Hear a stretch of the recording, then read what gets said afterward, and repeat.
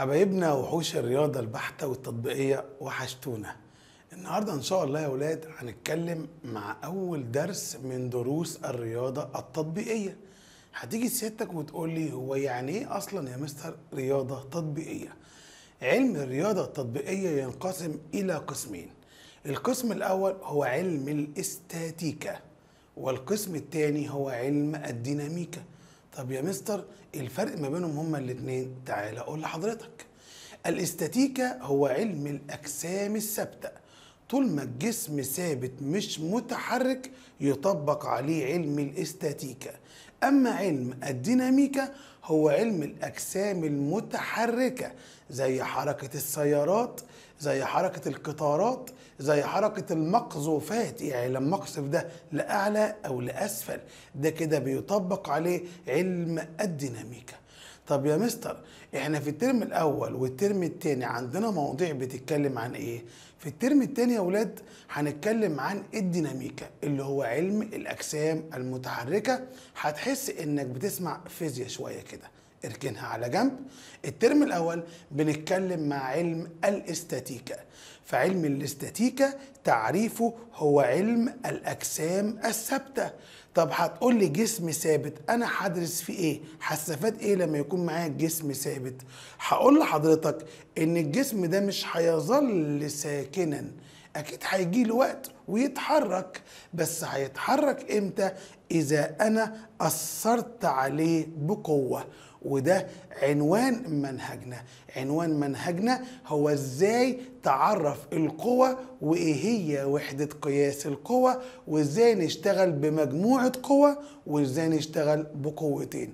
يلا بينا نسمي الله ومش عايزك تخاف خالص. آه حاجة أول مرة تسمعها في حياتك بس ما تقلقش. زي ما قلنا لكم قبل كده معانا مفيش مشكلة خالص بس أهم حاجة محتاجين هدوء وصبر وتركيز وإن شاء الله هتلاقي نفسك من أوائل الثانوية العامة. يلا نسمي الله حضر ورقتك اللي بنكتب فيها ملحوظاتنا محدش ينساها دايما. وحضر كراستك والقلم والآلة شيء أساسي في حصص الميكانيكا استخدام الآلة. هنسيبها جنبنا ويلا بينا نشوف الشرح. أول جزء عندنا في التطبيقية بيتكلم عن إيه هي القوة؟ حضرتك لسه قايل لي من شوية طول ما الجسم ده ثابت مش متحرك لو سبته وقعدت سنتين ما بصش عليه وبعدين رجعت بعد السنتين بصيت عليه هتلاقيه زي ما هو ساكن مش متحرك. الله هو إمتى يتحرك الجسم ده؟ قال لك إذا أثرنا عليه بقوة. معلش استحملني شوية هنقول شوية تعريفات ونوضحها مع بعض. طب هو يا مستر بيجي في الامتحان يقول لي عرف مثلا ما إحنا اتفقنا بقى خلاص مبدأنا نفهم مش نحفظ. لازم كل معلومة تعرف هي أصلها جه منين ولازم تقتنع بالمعلومة عشان تعرف تطلع كل اللي جواك في المعلومة اللي قدامك. فالراجل بيقول لي هو يعني إيه قوة؟ هقول له والله القوة بتاعتنا يعني تأثير الأجسام الطبيعية على أجسام أخرى. يعني إيه يا مستر؟ حضرتك لما تمسك ايديك وتزق القلم. القلم ده جسم طبيعي وايديك كمان جسم طبيعي. يبقى في جسم طبيعي أثر على جسم طبيعي تاني عشان يغير مكانه. أنا لما زقيت القلم كده اتحرك. اتحرك لأن أثرت عليه بقوة. يبقى في جسم بيأثر على جسم لتغيير الوضع اللي موجود معاه. زي إيه يا مستر كده؟ هقول لك هو أنا لما زقيت كده عملت إيه؟ اثرت عليه بقوة تسمى قوة دفع دفعته لقدام طب لو أنا جبته من هناك رحت جاي شده يبقى أنا عملت عملية جذب. لو إحنا واقفين على الأرض إحنا واقفين على الأرض تحت تأثير قوتين قوة الجاذبية الأرضية وقوة الوزن بتاعتنا. الله يعني معنى كده الوزن يعتبر قوة بالظبط يعتبر قوة. فالراجل لما يقول لك يعني إيه قوة قول له هو تأثير بعض الأجسام على أجسام أخرى. وعندنا أمثلة كتيرة. عندك قوة الدفع تعتبر قوة. قوة الجذب يعتبر قوة. قوة الضغط يعتبر قوة. التنافر يعتبر قوة. مستر طب لحظة معلش. في بعض الكلام أنا كده عايز أفهمه. ممكن توضحه؟ عناية ليك. قوة الدفع زي ما قلنا أنا بزق حاجة. قوة الجذب بجذبها ناحيتي. قوة الضغط لو أنا واقف ببص على السبورة هنا رحت جاي بص على الترابيزة وضاغط عليها. طب ما أنا كده ضغطت. قوة التنافر بتكون ما بين الأجسام الحديدية والمغناطيس اللي أنت كنت بتلعب بيه زمان. آه في قوة تنافر. كل ما قرب المغناطيس ساعات بينجذب الي وساعات تاني بينفر مني وبيمشي وكمان شوية هنوضح الكلام ده. بالظبط. يبقى كده عرفنا يعني إيه قوة. طب هو يعني إيه جسم طبيعي؟ جسم طبيعي يعني جسم مادي. وكلمة مادي مش يعني فلوس لا.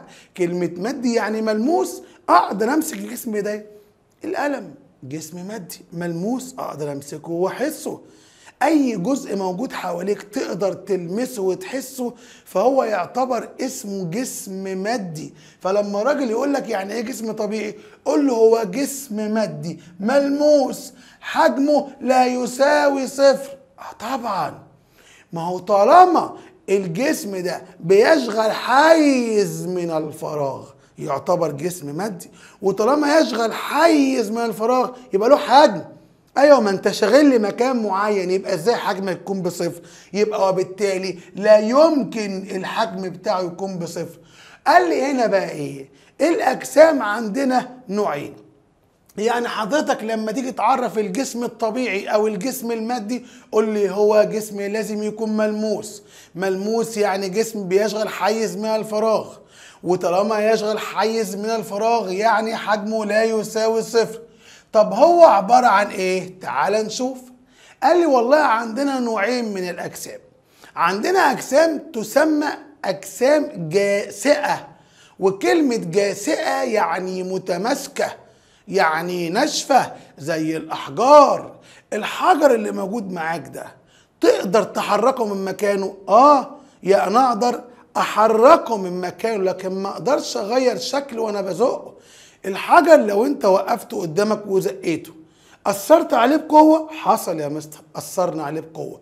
مكانه اتغير؟ حصل يا مستر مكانه اتغير تحت تأثير القوة بتاعتنا. طب شكله اتغير؟ لا ما اتغيرش. وعشان كده بنقول الأجسام اللي إحنا بنسميها أجسام جاسئة يعني أجسام متماسكة يعني مهما أثرت عليها بقوة شكلها ما بيتغيرش. فهقول له هي أجسام لا يتغير شكلها مهما كانت القوة المؤثرة عليه. زقه زي ما أنت عايز ارفعه فوق زي ما أنت عايز شده زي ما أنت عايز هو الحجر شكله كده. أما النوع التاني هي الأجسام القابلة للتشكيل. زي ما إحنا وإحنا صغيرين كنا بنمسك عجينة الصلصال. عجينة الصلصال لو أنت عملتها على شكل كورة وكورتها وجيت زقتها بإيديك هتلاقي الكورة حصل فيها خلل في الشكل بتاعها. يعني معنى كده إن الجسم ده قابل إن أشكله. لو جيت حدفتها على الأرض هتلاقي الحتة اللي تحت اتبططت خالص. يبقى قابلة للتشكيل. يبقى أنا عندي الأجسام نوعين. أجسام متماسكة مهما أثرت عليها بقوة شكلها ما بيتغيرش. وأجسام قابلة للتشكيل. هي أجسام يتغير شكلها. تحت تأثير القوة. لو ضغطت الشكل بيتغير. لو حدفتها فوقعت على الأرض الشكل بيتغير. لو زقيتها بإيديا الشكل بيتغير. مثل المطاط والصلصال والسوائل والغازات. طب يا مستر ممكن تقول لي إيه أنواع القوى اللي إحنا ممكن نشوفها مثلا خصوصا في المنهج بتاعنا يعني أو ممكن نقابلها عموما في القوى ما إحنا قلنا محتاجين نفهم يعني إيه قوة عشان أعرف أخش وأتعامل مع أفكار المنهج. قال لي بص يا سيدي والله عندك شوية قوة كتيرة لا عدد لها من الحصر. يعني ما ينفعش أقول لك إيه احصر لي عناوين القوة دي؟ أنت ما عندك كام قوة؟ قال لا تعالى أقول لك. حضرتك لو جبت خيط وربطت في آخر الخيط كورة حديد الخيط هتلاقيه مدلدل قدامك كده. ساعة ما تسيب الكرة من الحديد هتلاقي الخيط فضل ينزل ينزل ينزل. في لحظة يا ولاد معينة كده هتلاقي الخيط عمل كده. في اللحظة دي الخيط يعتبر اتشد وده اللي واضح معانا في الشكل الأول. الشكل الأول ده بيعبر عندي عن حاجة اسمها قوة الشد وقوة الشد بتكون في الخيوط. وطبعا برمز لها بالرمز شين. يبقى الشين كل ما أشوف خيط حصل فيه شد برمز له بالرمز شين. وتعتبر قوة موجودة عندنا بنسميها قوة شد وهي موضحة عندك في الشكل اللي قدامك. طب يلا بينا نخش على النوع التاني مثلا. قوة تسمى قوة ضغط. منين بتنشأ قوة الضغط؟ سيادتك سندت على الترابيزة ضغطت عليها. سيادتك شلت صندوق تقيل قوي رحت جاي حاطه على الترابيزة. خلي بالك ما هو انت لما حطيت الحاجة التقيلة دي على الترابيزة الحاجة دي ضغطت على الترابيزة. آه يبقى أنا الشكل اللي قدامي التاني ده بيعبر عن إني جبت شكل معين له ثقل أو له وزن وحطيته على الترابيزة. وهقول لك قوة تظهر عند ارتكاز جسم على سطح. جسم ده يعني إيديا. استندت على الترابيزة. يبقى أنا كده عملت قوة ضغط. جبت حجر تقيل حطيته على الترابيزة. سند على الترابيزة. يبقى أنا كده عملت قوة ضغط. طب أنا لما بضغط بقوة الضغط قوة الضغط دايما بتكون لأسفل. نازله لتحت أهي. قوة ضغط. أنا وأنا بضغط على الترابيزة بتنزل لتحت تنزل لتحت. بس لحظة بقى. خير. هو أنا ساعة ما بسند على الترابيزة بتقع؟ في الأغلب لا. طب جميل. ليه ما بتقعش؟ لأن أنا بضغط عليها وهي مش سكتالي ما هي بترد عليا. بترد عليا؟ بترد عليا؟ طب أنا ضغطت عليها بقوة تسمى قوة ضغط. هي هترد عليا بقوة. بقوة تسمى قوة رد فعل. وعشان الترابيزة ما وقعتش يبقى معنى كده إن قوة ضغطي عليها مساوية لقوة رد فعلها عليا وبالتالي الجسم ده فضل ساكن ما وقعش على الأرض. يعني قوة الضغط وقوة رد الفعل بتلاقيهم دايما متساويين في الشكل الواحد.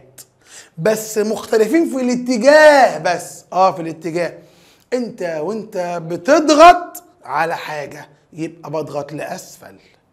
هي لو ضغطت معاك لأسفل أنتوا الاتنين هتقعوا تحت. لكن هي بترد عليك لأعلى. يبقى أنا عندي قوة الضغط بتكون لأسفل قوة رد الفعل بتكون لأعلى وهما الاتنين بيساووا بعض. وأوعى تنسى يا دكتور اوعي تنسى يا دكتورة إن حضراتكم حافظين من زمان أن لكل فعل رد فعل. ها؟ ها؟ بص ركز معايا. لكل فعل رد فعل. مساوي له في المقدار. أنا وأنت بنساوي بعض. إحنا أعداء. آه. بس أنا وأنت بنساوي بعض. ومضاد له في الاتجاه. يعني وأنا وأنت في اتجاه واحد هنمشي في نفس الجهة. لكن لازم نكون أنا وأنت عكس بعض عشان أنا وأنت نفضل محافظين على الاتزان بتاعنا. يبقى حبايبي عندنا القوه زي ما أنت شايف قوة شد قوة ضغط قوة رد فعل. طب إيه هي قوة الجذب والتنافر؟ طب ما إحنا قلناها من شوية وشرحناها بس هنقولها بالتفصيل. قوة الجذب والتنافر بتحدث لما سيادتك تجيب مغناطيس وجسم جسم يعني زي الحديد. ساعات بيحصل تجاذب وساعات بيحصل تنافر. آه حاجات خدتوها في الفيزياء وفي العلوم. ممكن يحصل تجاذب بين الجسمين قوة جذب بين الجسمين. تلاقي الجسم بتاعك ينجذب ناحية المغناطيس. وأوقات تانية ساعة ما كنا بنخش المعمل بتلاقي المستر يقرب المغناطيس من حتة حديدة الحتة الحديدة عمالة تبعد تبعد مش بتنجذب ليها. ودي حاجات ليها علاقة بالأقطاب والكلام ده كده.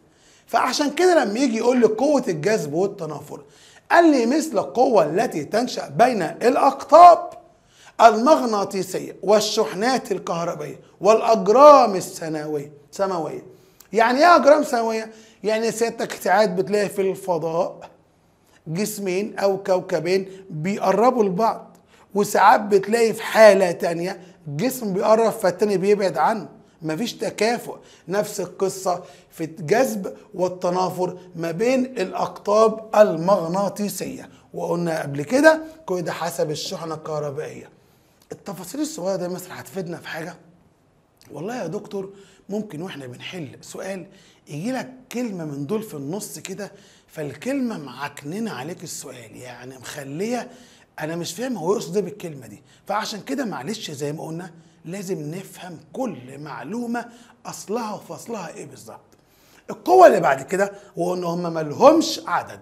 القوة اللي بعد كده هي قوة تثاقل أو قوة الوزن. أنا وأنا واقف في ثقل قاعد على الأرض. أنا وأنا واقف ليا وزن.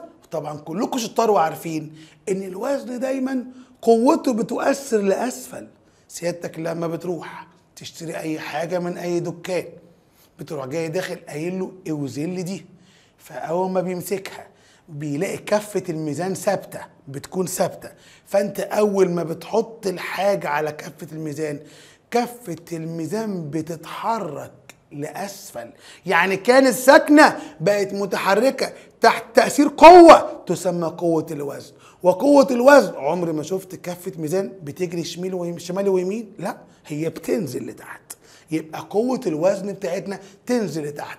يبقى أنا هقول إذا ترك جسمي في الهواء فإنه يتحرك ساقطا نحو سطح الأرض. يعني أنت لو سبت كده بينزل تحت. عمري ما شفت جسم بيمشي يمين وشمال. بينزل تحت. بينزل تحت لأن في حاجة اسمها قوة جاذبية أرضية مع قوة وزنه بتكون لتحت. يبقى هي دي القوة اللي موجودة معانا وهي قوة الوزن. طب يا مستر هو القوة دي نشأت منين؟ أو هي اكتشفوها إزاي؟ أو هي بتساوي إيه؟ قال لي والله يا محترم القوة عبارة عن حاصل ضرب الكتلة في عجلة الجاذبية الأرضية. يعني أصلا العلماء لما جم يخترعوا لفظ قوة وقال لك تعالى هي القوة دي نشأت من إيه؟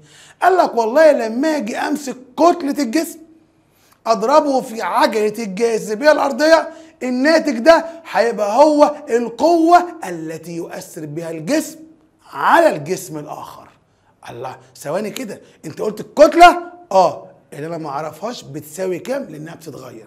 أنت قلت عجلة الجاذبية الأرضية؟ آه. وعجلة الجاذبية الأرضية هي دال. الدال ثابتة هي عجلة الجاذبية الأرضية. في فرق ما بين عجلة الحركة وعجلة الجاذبية الأرضية. عجلة الحركة تسمى جيم ودي قيمتها متغيرة مش ثابتة وهنتكلم عنها في الترم الثاني أما دال هي عجلة الجاذبية الأرضية وقيمتها ثابتة. بتسعة وثمانية من عشرة متر لكل ثانية تربيع. القيمة يتحفظ طبعا تتحفظ تسعة وثمانية من عشرة متر لكل ثانية تربيع أو 980 سنتيمتر لكل ثانية تربيع. وساعات ساعات أنا بقول لو استخدمتها ساعات يجي يقول لك إيه؟ علما بأن عجلة الجاذبية تساوي تقريبا عشرة. دي مش بتاعتي أنا بقى خلاص يعني هو بيقول لك تقريبا هي بتساوي 10 لكن لو ما قالش قيمتها كام؟ لازم تكون سيادتك حافظ قيمتها التقريبية هي تسعة وثمانية من عشرة متر لكل ثانية. تربيع طب جميل. كده يا مستر إحنا عرفنا إيه هي القوة وعرفنا نشأت منين القوة وعرفنا أنواع القوة وعرفنا الأجسام اللي بتأثر على بعض دي انواعها إيه وعرفنا القوة دي أصلا بتساوي إيه. ممكن بقى تخش لي في المهم شوية؟ عشان أنا زهقت ومحتاج أحل مسائل. هقول لك يلا بينا. والله دلوقتي معادنا مع جزء مهم جدا. هو إيه؟ هي القوة دي رمزها إيه؟ قاف. طب جميل. بنعبر عن القوة بشكل إيه؟ يعني لما أجي أقول أنا معايا قوة هكتبها بأنهي شكل؟ هكتبها بأنهي منظر؟ قال تعالى يا أستاذ. أول شكل من أشكال القوة هي الصورة الإحداثية. وكلمة الصورة الإحداثية هي الصورة اللي على شكل زوج مرتب. وانتوا ناس شاطرة طبعا وعارفين. أن الزوج المرتب هو عبارة عن مسقط أول ومسقط تاني اللي إحنا بنرمز له بالرمز س وصاد. نقول تاني نقول تاني. يبقى أنا عندي القوة بقول أو بعبر عنها بثلاث أشكال. أول شكل هو الصورة الإحداثية يعني عبارة عن زوج مرتب مسقط أول مسقط تاني.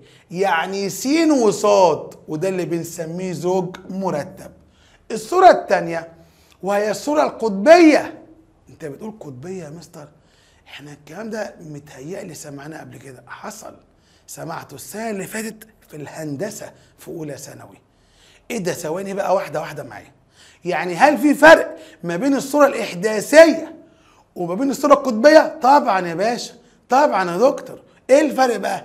الصورة الإحداثية دائما وأبدا س وصاد مسقط أول ومسقط تاني.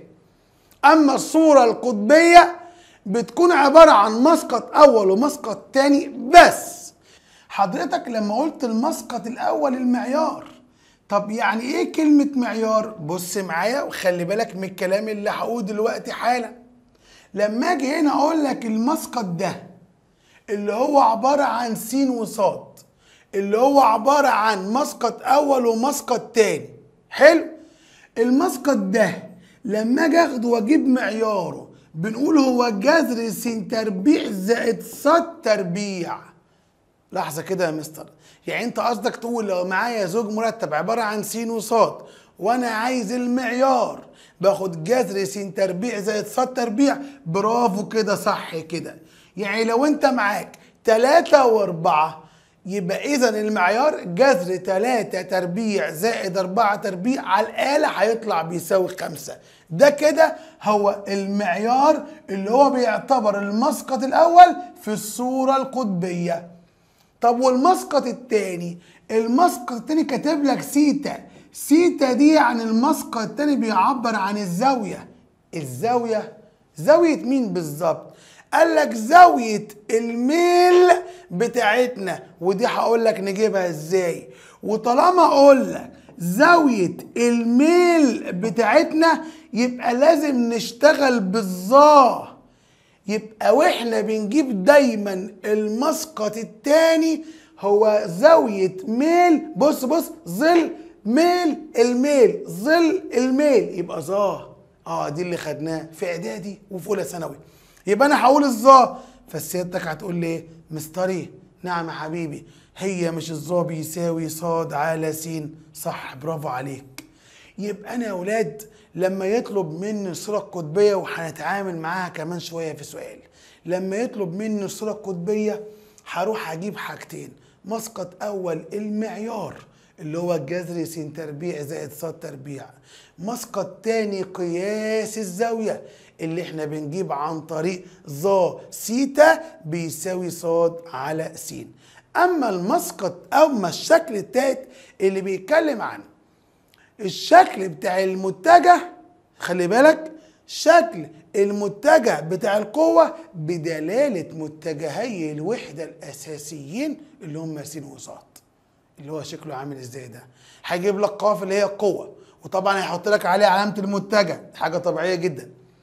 هيجيب لك قيمة المسقط الأول اللي هو ده بس لازم يحط لك جنبها المتجه س يجيب لك قيمة الصاد اللي هو المسقط لازم يحط لك جنبها المتجه صاد. يعني مثلا لو دي كده بيساوي 2 و5 في الزوج المرتب يبقى الشكل بتاعها هيبقى 2 المتجه س زائد 5 المتجه صاد. يبقى أولاد قبل ما نخش نحل على الجزئية دي ونقول إزاي نستخدمها حط في اعتبارك حتة مهمة جدا إن القوة عندي بعبر عنها بثلاث أشكال. إما بالصورة الإحداثية اللي هو زوج مرتب س وصاد أو بالصورة القطبية اللي هو مسقط أول المعيار ومسقط تاني قياس الزاوية عن طريق قانون الميل. أما الصورة الثالثه هي الصورة بدلالة متجهي الوحدة الأساسيين اللي هم عبارة عن مسقط أول ومسقط تاني. يعني لما أجي أقول لك سالب 3 و8 دي كده المتجه ق هتروح جاي سيادتك لي إذا المتجه ق يساوي سالب 3 س زائد 8 ص كده دي الصورة بدلالة متجهي الوحدة الأساسيين. طيب تعال نتمرن على الكلام ده عشان بصراحة خايف يقع مني وانساه. ما تيجي نتمرن على الجزئية اللي انت اتكلمت فيها. الراجل بيقول لك إيه؟ شخص يجر سيارة يبقى في قوة. بحبل بقوة 30 نيوتن. تمام كده؟ يبقى القوة اللي موجودة معايا اللي هي قاف مقدارها 30 نيوتن. وكان قياس زاوية ميل الحبل. قياس زاوية ميل الحبل بتساوي 60 مستار إحنا دلوقتي إيه؟ لقينا قيمة القوة وزاوية ميلها. قيمة القوة وزاوية ميلها. الله مش دي صورة قطبية يا مستر. والله برافو عليك. صح صح برافو عليك. ما إحنا لسه قايلين من شوية إن أنا لما أفتح القوس بالمنظر ده بيبقى معايا مسقط أول ومسقط تاني. المسقط الأول 30 والمسقط التاني 60 درجة. أول ما ألاقي قوة وزاوية قوة وزاوية يبقى دي صورة قطبية قوة وزاوية يبقى صورة قطبية طب أنت عايز إيه؟ قال لي اوجد الصورة الإحداثية. آه يعني عايزني أرجع الصورة القطبية دي للصورة الإحداثية على شكل س وصاد. تعال نشوف مع بعض هنعمل إيه. قال لي عشان نجيب السين وعشان نجيب الصاد هنعمل حركة جميلة جدا. هنضرب قيمة المعيار اللي هي القيمة يعني وهنا الزاوية. قيمة المعيار وهنا الزاوية. حضرتك عايز تجيب مين دلوقتي؟ عايز أجيب السين. طب ما أنتوا أشطر مني وعارفين إن السين بنعبر عنها بكلمة جتا والصاد بعبر عنها بكلمة جا. يعني سيادتك عشان نجيب من الصورة القطبية نجيب الصورة الإحداثية لازم أجيب س وصاد. السين بيساوي المعيار في جتا الزاوية. والصاد بيساوي المعيار في جاء الزاوية. فسيادتك لو ضربت على الآلة 30 كوزين 60 هيديك 15 دي كده قيمة السين. سيادتك لو ضربت على الآلة 30 ساين 60 هيديني 15 جذر 2 إيه ده بقى؟ 15 جذر 3 إيه ده مستر؟ يعني معنى كده يا مستر إن الصورة الإحداثية بتاعتي عبارة عن 15 و15 جذر 3 برافو عليك وخدت الدرجة كاملة على فكرة خلاص.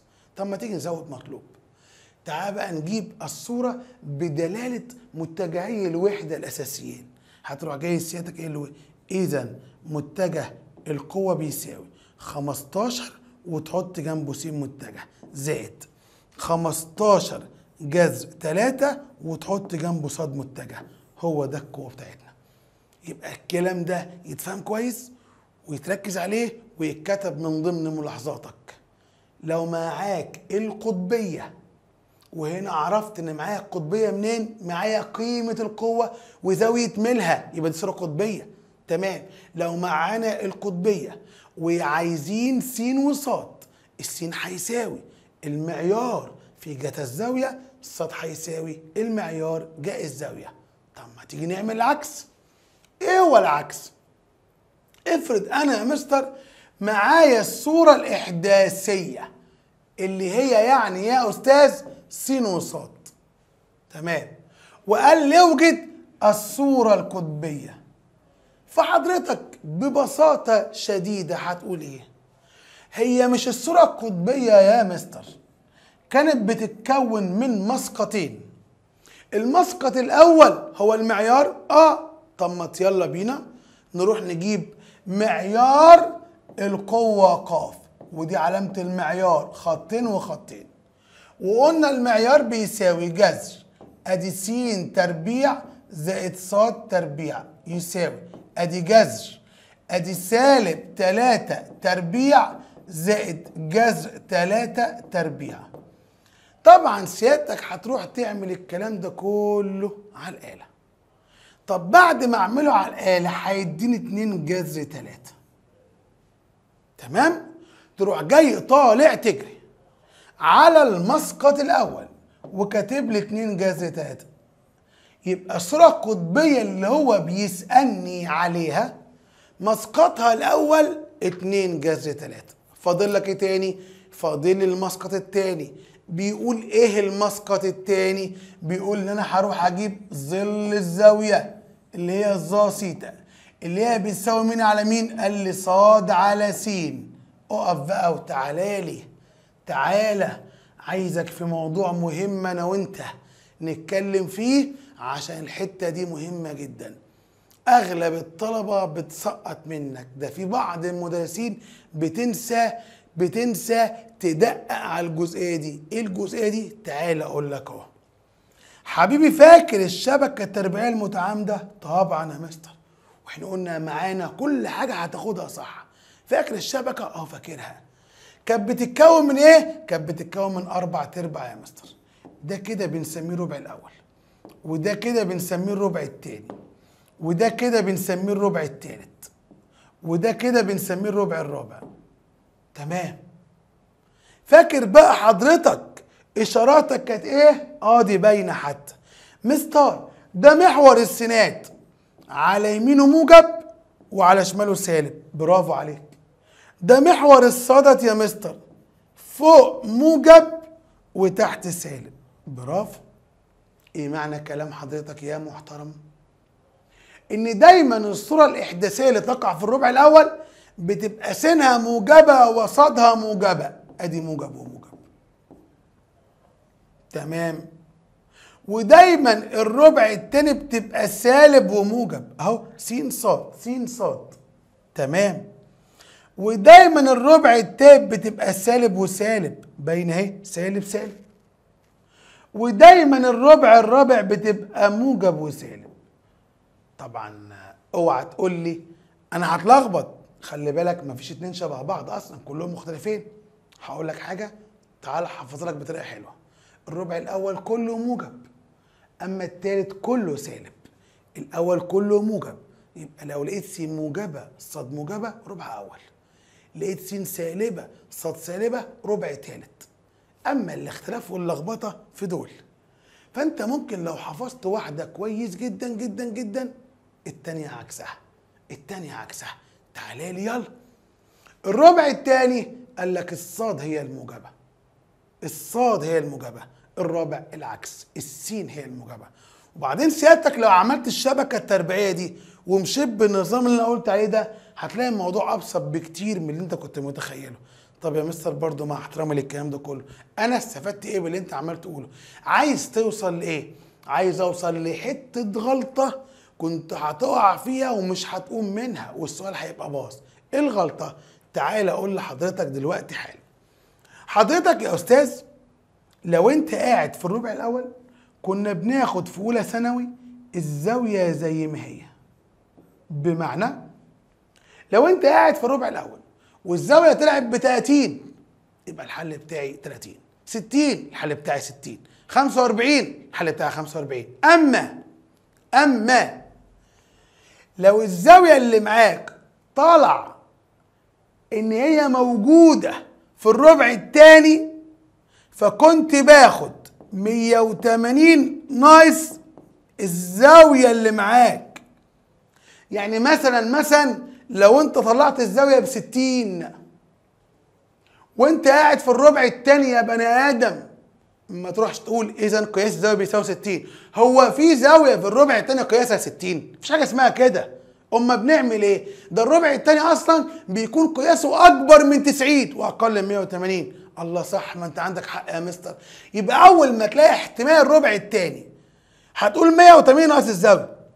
يبقى لو طلعت معاك 60 اطرح 180 ناقص 60 يبقى ب 120 مبلوعة كده. آه فعلا ال 120 فعلا تقع في الربع الثاني طب افرض زاويتنا طلع احتمالها إنها تقع في الربع الثالث كنا بناخد 180 زائد الزاوية. هتقول لي يا مستر طب بعد إذنك هو أنا هعرف منين إن قاعد في الربع ده؟ جاي لك وهقول لك. طب لو تقع في الربع الرابع كنا بناخد 360 ناقص الزاوية. حتة جميلة. هتسمع معانا كل حاجة حلوة بس ركز. هتقولي تعالى بقى ركز معايا يلا. وإحنا بنجيب يا ولاد قياس الزاوية بنشتغل بالظا. وإحنا بنشتغل بالظا بنقسم صاد على س فلو عينك الجميلة دي راحت قسمت صاد على س لقيتهم الاتنين موجبين يبقى انت قاعد في الربع الأول يبقى اللي يطلع لك عن طريق شفتان هو ده حل السؤال. اللي يطلع عن طريق شفتان هو ده حل السؤال. ده لو كان السين والصاد موجبين. أما هنا لما جيت أبص لقيت إن السين سالبة والصاد موجبة. وده كده معناه إن هو قاعد في الربع التاني. آه يا ابن اللذينه طب ما أنا يا مستر ممكن أروح أكتب إن الصاد فوق بجذر ثلاثة والسين تحت بسالب ثلاثة قال لك لا يا حلو. ما تكتبليش على الآلة سالب خالص. أمال أعمل إيه؟ احتفظ بالسالب ده في عقلك لحظة وتعالى أقول لك. ركز معايا في اللي هقوله كله بالنص. جميل. أول ما سيادتك تلاقي سالب موجود في أحدهما أو في الاثنين شيل السالب على جنب. وروح اكتب الصاد واكتب السين كده.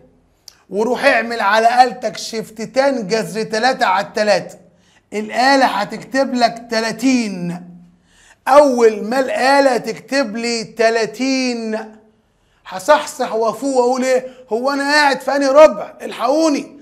لو الراجل قال لك الاتنين موجبين يبقى أنت قاعد في الربع الأول. يبقى مجموعة الحل 30 يبقى كنت هكتب هنا 30 أما لو الراجل قال لك معاك سالب وموجب يبقى انت قاعد في الربع الثاني تاخد لي ال 30 الحلوة دي تطرحها من 180 فهيطلع 150 يبقى معنى كده إن الزاوية بتاعتنا أو إحنا ساعات بنسميها قياس الزاوية القطبية بيساوي 150 يبقى معنى كده إن صورة القطبية 2 جذر 3 و150 طب نفترض لو كانوا الاتنين سوالب طب كده كده مش هكتب السوالب وهيطلع 30 سامع حد فيكم مضايقني؟ مضايقني قوي قوي قوي اللي قاعد بيتفرج عليا ده. ويقول لي إيه؟ يا مستر مش لما أقسم سالب على سالب السوالب بتروح مع بعض. لا الكلام ده مش هنا يا بابا. الكلام ده مش على الشبكة التربيعيه يا حبيبي لا. حتى لو قسمت سالب على سالب وراحوا مع بعض فطلعت الزاويه 30 فالسالب في السين. والسالب في الصاد دلالتهم معناهم إنك قاعد في الربع الثالث يبقى المفروض كنت تاخد لي ال 30 دي تجمعها على ال 180 تطلع 210 وأكبر دليل إنك بتتكلم صح فعلا ال 210 تقع في الربع الثالث بسيطة أهي. فحبايبي واحدة واحدة مع بعض وصلى على النبي وتعال نلخص الحتة اللي فات دي في جملتين. وأنت بتجيب المعيار ما تركزش مع الإشارات. لما اطلب منك صورة قطبية وانت بتجيب المعيار ما تركزش مع الإشارات. لكن وانت بتجيب قياس الزاوية شيل إشاراتك روح جيب زاويتك وارجع بص. كل موجب ربع أول خلصت. سالب موجب ربع تاني يبقى 180 ناقص الزاوية اللي طلعت. كله سالب ربع تالت 180 زائد اللي طلعت. موجب سالب ربع رابع 360 ناقص الزاوية اللي طلعت كده الموضوع بسيط اهو. يبقى إحنا كده اتعلمنا إزاي نحول من صورة إحداثية إلى صورة قطبية. كان فيها تكة قلناها مع بعض. وتعلمنا كمان نحول من صورة قطبية إلى إحداثية. ما كانش فيها تكة ولا حاجة. قلنا السين بتساوي المعيار في جهه الزاوية. صب بيساوي المعيار في جهه الزاوية. خش بعد كده على الكلام اللي إحنا عايزين نكمله وكنا فتحناه من شوية. نرجع شوية نتكلم كشوية كلام لازم تفهمه وتقتنع بيه. هو مستر معلش هو إزاي بعين القوة؟ يعني لو راجل قال لي هات القوة هو إيه معناها العلمي؟ ان أجيب القوة؟ قال لك معنى تعيين القوة إنك تعين ثلاث حاجات. إيه هي؟ مقدارها.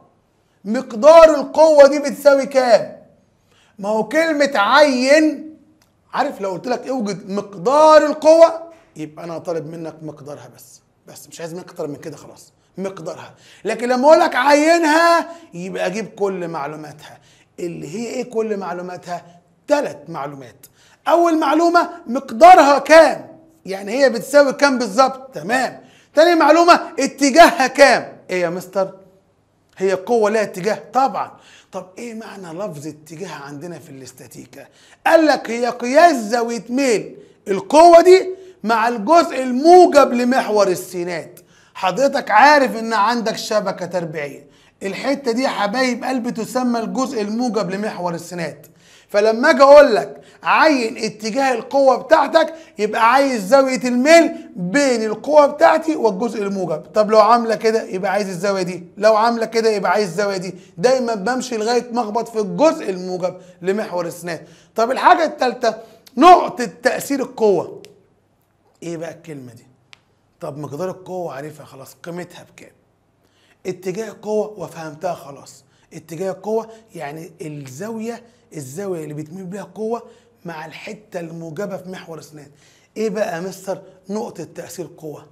قال لك إن أي قوة بتحصل ما بين جسم وجسم ليها نقطة تأثير. يعني أنا ممكن أزق جسم من حتة وأزق جسم من حتة تانية القوة تبقى أكبر. يبقى أنا نقطة تأثير القوة بتاعتي مش في الحتة الأولى كانت في الحتة التانية. هتقول أنا اتلخبطت. تعال أقول لك حاجة مهمة جدا. لما نيجي نتكلم مع بعض على وحدات قياس القوة ونقول هي نقطة التأثير تبقى فين بالظبط. تعال أقول لك أهو بص معايا كده. ده باب كلنا عارفينه كويس قوي الباب ده له مفصلات. آه تمام ماشي. كمل. أنا عايز أقفل الباب. فجه واحد أخونا كده محترم راح جنب المفصلة الناحية دي وقال لي هزق من هنا. قلت له براحتك زق.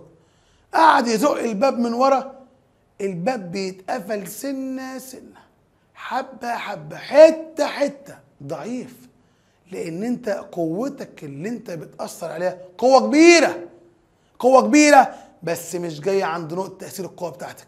طب تعالى. جه واحد زميلنا راح جاي رايح عند الحتة اللي في آخر الباب عند الاكره كده وراح جاي زائق الباب اتحرك بسرعة واتقفل. معنى كده إن القوة بتاعتي نقطة تأثيرها هنا كان أعلى من هنا وده اللي إحنا بنتكلم عنه.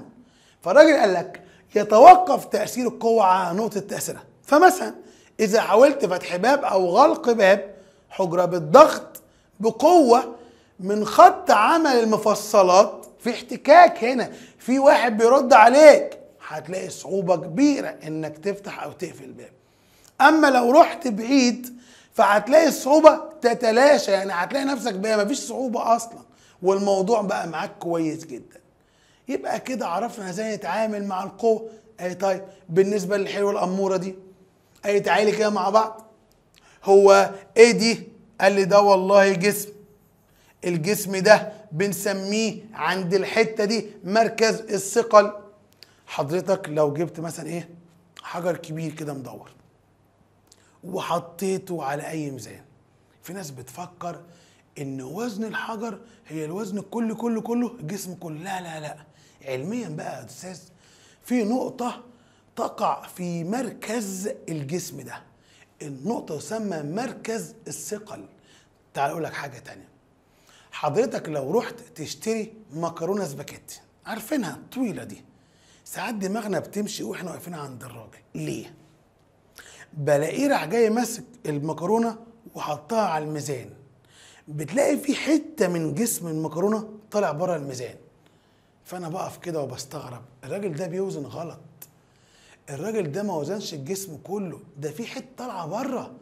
متهيأ لك. تعال أقول لك إيه اللي بيحصل. عود المكرونة قد كده مثلا. في جزء في نصه بالظبط في نقطة في نص عود المكرونة ده النقطة دي هي اللي بتأثر فيها قوة وزن العود كله وده بيسمى مركز الثقل. فطالما مركز الثقل ده على الميزان حتى لو كل العود بره من الناحية التانية فهنا جبت الوزن الصحي اللي موجود عندي. وبناء عليه لما أجي أقول لك ده مركز ثقل الجسم دي الحتة اللي هحدد منها وزن الجسم. فزي ما أنتوا قلتوا لي إن الوزن بيأثر لأسفل. الوزن دايما لتحت آه. طب قلنا أول ما تلاقي الوزن لتحت لو الجسم ده مربوط بخيط خلاص بقى أنت بقيتوا أشطر مني في الحتة دي. يبقى القوة اللي في الشد بتاعة الخيط تعادل قوة الوزن عشان الجسم فضل ساكن.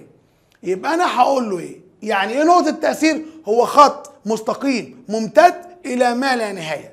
بنقطة تأثير القوة والموازية لاتجاهها. يعني سيادتك. الوزن ده 10 بص بص بص بص هنا 10 وهنا 10 وهنا 10 وهنا 10 طب لو طلعنا فوق ما هنا 10 وهنا 10 وهنا 10 يبقى أنا عرفت أجيب دي. قال لك مثلا خط عمل الشد في الخيط هو الخيط نفسه آه. فلما أجي أقيس الخيط وأشوف القوة اللي في أوله هتلاقي هي القوة اللي قبله القوة اللي قبله القوة اللي قبله. طب هنا بيقول إيه بقى؟ خط عمل قوة الوزن هو الخط الرأسي المر بمركز الثقل اللي هو نزل تحت.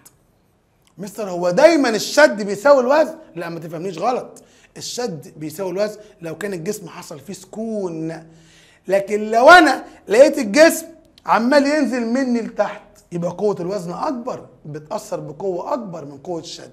لقيت الجسم عمال يترفع لفوق يبقى قوة الشد في الخيط أكبر. لكن لو حصل اتزان يبقى في اللحظة دي يا أولاد قوة الشد في الخيط هي قوة الوزن. وكده كده أصلا في درس هنتكلم عنه بالتفصيل. هي درس بيتكلم عن الاتزان اتزان أي جسم. طب نركز مع بعض في الحتة اللي جاية إيه هي وحدة قياس القوة؟ خلاص بقى عشان نخلص ونخش نحل مسائل. خلاص أنا فهمت يا مستر تمام كويس جدا. إيه وحدة قياس القوة؟ قال لك والله الوحدات اللي بنقيس بيها القوة هما نوعين مش وحدتين نوعين من الوحدات. أول نوع حاجة اسمها وحدات تثاقلية. يعني فيها كلمة ثقل. وحدات تثاقلية اللي هي عبارة عن وحدتين. ثقل كيلو جرام وثقل جرام. تمام. وعندي وحدات تسمى وحدات مطلقة. وحدات مطلقة ودي بتبقى عبارة عن نيوتن وداين. طب يا مستر هو أنا مطلوب مني السنة دي أحول من ثقل كيلو جرام لثقل جرام مطلوب مني السنة دي أحول من نيوتن لداين؟ لا. في الترم الأول يا دكتور مفيش تحويلات في الترم الثاني في الديناميكا عندنا تحويلات بس لو أنت عايز تحفظ التحويلات دي احفظها. احفظها على سبيل المعرفة مش أكتر. لكن عمره ما هيجي في الامتحان يسألك على تحويل من وحدة لوحدة في الاستاتيكا. خلي بالك من اللي بقوله مش هيسألك في الاستاتيكا عن التحويل من وحدة لوحدة. طب أنا هستفاد بإيه بالكلام ده بقى؟ قال لي والله الراجل هيجيب لك سؤال. هتلاقي السؤال كله ماشي القوة اللي فيه بالنيوتن يبقى الناتج بتاعك هيطلع بالنيوتن. هتلاقي كله بالداين يبقى الناتج بتاعك برضه هيطلع بالداين. شبيه المثال كده مش هيجي يقول لك في الامتحان حول خالص. طب ركز بقى معايا. دلوقتي يا مستر إحنا عنوان الدرس بتاعنا كله بيتكلم إزاي نجيب محصلة القوة. إزاي نجيب محصلة القوة هو يعني إيه محصلة القوة؟ قال لي والله محصلة قوتين أو أكثر ما هو عندي قوتين. كل واحد بيعمل قوة معينة أنا عايز أجيب محصلة قوتين. وعندي أربع خمس ست أشخاص. كل واحد فيهم بيعمل قوة معينة عايز أجيب محصلة القوة كلها. اوعى تفهمني غلط. اوعى تفهم ان معنى ان أجيب المحصلة جبريا ان اجمع جميع القوى. غلط. مثلا مثلا لو انت اشتغلت يومين يوم كسبت 10 جنيه ويوم كسبت 20 جنيه. لما أجي أقول لك محصلة شغلك إيه؟ ما تقولش 30 جنيه. أنا اقصد من كلمة محصلة شغلك يعني إيه اللي انت طلعت بيه من الشغل بعد ما اشتغلت. ليه ما قلناش 30 يا مستر؟ لأنك كسبت 30 جنيه في اليومين بس في مبلغ صرفته. فالمحصلة هي الحاجة اللي اتبقت معاك بعد مصاريفك. يعني أنت كسبت 30 جنيه صرفت 10 يبقى اتبقى معايا 20 من اليومين يبقى محصلة شغل من اليومين 20 القصد انما لما أقول لك هات المحصلة جبران ما تروحش تجمع جميع القوى ده مفهوم خاطئ. ما تقولش هجمع القوة الأولى زائد القوة الثانية زائد القوة الثالثة. غلط. يبقى أنا هنا عشان أجيب المحصلة إنك تجيب قيمة قيمة واحدة تعادل القوة كلها. يعني لما عاوز أجيب محصلة قوتين عايز قوة واحدة تعادل القوتين. تعادلهم مش تساويهم. تعادلهم مش تساويهم. خلي بالك من الكلام. قال لك تعادلهم. ونفس القصة واتجاه قوة واحدة تحدث نفس التأثير التي تحدثه هاتان القوتان. يعني معنى كده إن الاتجاه بتاعي بتاع الحاجة الواحده بتاعت المحصله دي ليها نفس اتجاه القوتين التانيين. طب جميل كده قال لي كلام زي الفل. إزاي بيعين المحصلة؟ قال لك والله بنعين المحصلة إما بيانيا أو جبريا. طبعا بيانيا بسيطة جدا مش هنتقل عليها قوي. بنعمل حاجة في البياني هي استخدام قاعدة متوازي الأضلاع اللي حضراتكم خدتوها في إعدادي. وفي ثانوي هتقول لي مش فاكرها هقول لك تعالى أفكرك بيها. كان عندنا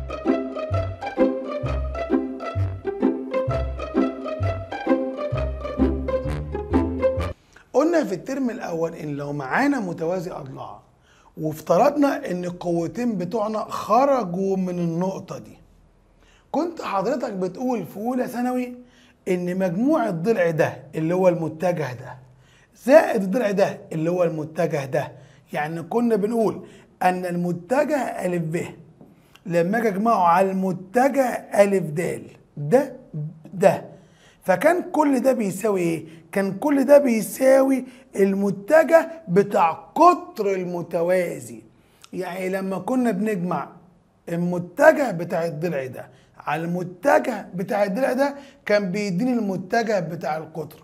وبناء عليه لو أنا فرضت إن الضلع ده هو المتجه قاف واحد يعني خط عمل القوة الأولى وفرضت إن دي خط عمل القوة التانية يبقى أنا هقول إن المحصلة بتاعتها اللي هو خط عملها هو نفس خط عمل القطر بتاع المتوازي بتاعنا. وتطبيقا للقاعدة دي فإن المحصلة بيانيا أنا مش بتكلم جبريا متجه المحصلة بيساوي متجه القاف واحد زائد متجه القاف اتنين وقلنا دي استخدامها قليل جدا عندنا. إيه الأهم بقى عندنا؟ خلي بالك وركز. إيه الأهم؟ إزاي نجيب محصلة قوتين؟ وده عنوان الدرس الأول. إزاي نجيب محصلة قوتين جبريا؟ قال لي بص يا سيدي لو اعتبرنا إن إحنا معانا قاف واحد اللي هي القوة الأولى وفرضنا إن ده خط عمل القوة الأولى وقلنا إن معانا قاف اتنين اللي هي القوة التانية وفرضنا إن ده خط عمل القوة التانية قاف اتنين. طبعا هنا هيجي لك قيم في الامتحان. المحصلة بتكون فين بقى يا مستر؟ ودي معلومة مهمة جدا. الراجل قال لحضرتك إن خط عمل المحصلة بيكون بين بين خط عمل القوتين. هو ملوش مكان محدد بالظبط. يعني ساعات بتلاقيه مشدود شوية ناحية قاف واحد وساعات تلاقيه فوق شوية ناحية قاف اتنين وساعات نلاقيه في النص وساعات نلاقيه في تطابق ما بينه وبين قاف واحد أو في تطابق بينه وبين قاف اتنين. بس الأكيد لا يمكن يحصل إن خط عمل المحصلة يخرج بره الإطار ده. يبقى حبايبي ركزوا عشان المعلومة دي هتنفعني بعد كده. يبقى خط عمل دايما المحصلة يقع بين خط عمل القوتين ما بينهم في أي وقت ما بينهم في أي مكان. المهم ما بيخرجش بره خط عمل قاف واحد وقاف اتنين. يبقى إحنا كده عرفنا قاف واحد هو رمز للقوة الأولى. قاف اتنين هي رمز للقوة التانية. المحصلة رمزها إيه؟ ح يبقى الح هي المحصلة. يبقى أنا في إيديا دلوقتي تلات قوة قاف واحد قوة أولى قاف اتنين قوة تانية المحصلة ح طب إيه اللي بيحصل بقى معايا لما أرسم الشكل الظريف ده؟ مش مطلوب منك ترسم وأنت بتحل بس ممكن أستخدم الرسمه جبريا برضو عادي مش بيانيا باستخدام القاعدة بتاعت متوازي الاضلاع لا جبريا برسم رسمة ليا هنا. قال لي والله بقى ركز معايا في الحتة اللي جاية دي مهمة جدا. حضرتك معاك زاويتين. أول زاوية هي قياس الزاوية بين القوتين. قياس الزاوية بين القوتين ودي بنسميها يه. يبقى اليه زاوية بين القوتين قاف وقاف. يبقى الله يكرمكم ركزوا هنا. لما يقول لك زاوية بين قوتين هسميها يه ودي بتبقى قاف وقاف. يبقى اليه زاوية بين القوتين قاف وقاف. ليه عمال تعيدها كتير؟ هتعرف دلوقتي. لقينا بقى يا مستر إن المحصلة بتاعتنا بتميل على القوة الأولى بزاوية اسمها ه. واحد عشان قوة أولى. وبتميل على القوة التانية بزاوية اسمها ه. اتنين. يبقى معنى كده يا دكاترة أنا معايا على الرسمة زاويتين. اليه وهي قياس الزاوية بين القوتين. اليه. أما اله هي قياس زاوية ميل المحصلة على أحد القوتين. يعني لو قال لك مع القوة الأولى يبقى هي واحد مع القوة الثانية هي اتنين. ومعلومة لازم تكون عارفها وحافظها كويس. أن مجموع هي واحد زائد هي اتنين يساوي اليه يعني لو جمعنا هي واحد زائد هي اتنين دايما هيساوي اليه اللي هي قياس الزاوية بين القوتين. يعني يا شباب يعني يا بنات معانا دلوقتي خمس خمس متغيرات. أول متغير هو قاف واحد القوة الأولى. قاف اتنين القوة الثانية الحاء هي المحصلة. اليه قياس الزاوية بين قوتين قاف وقاف.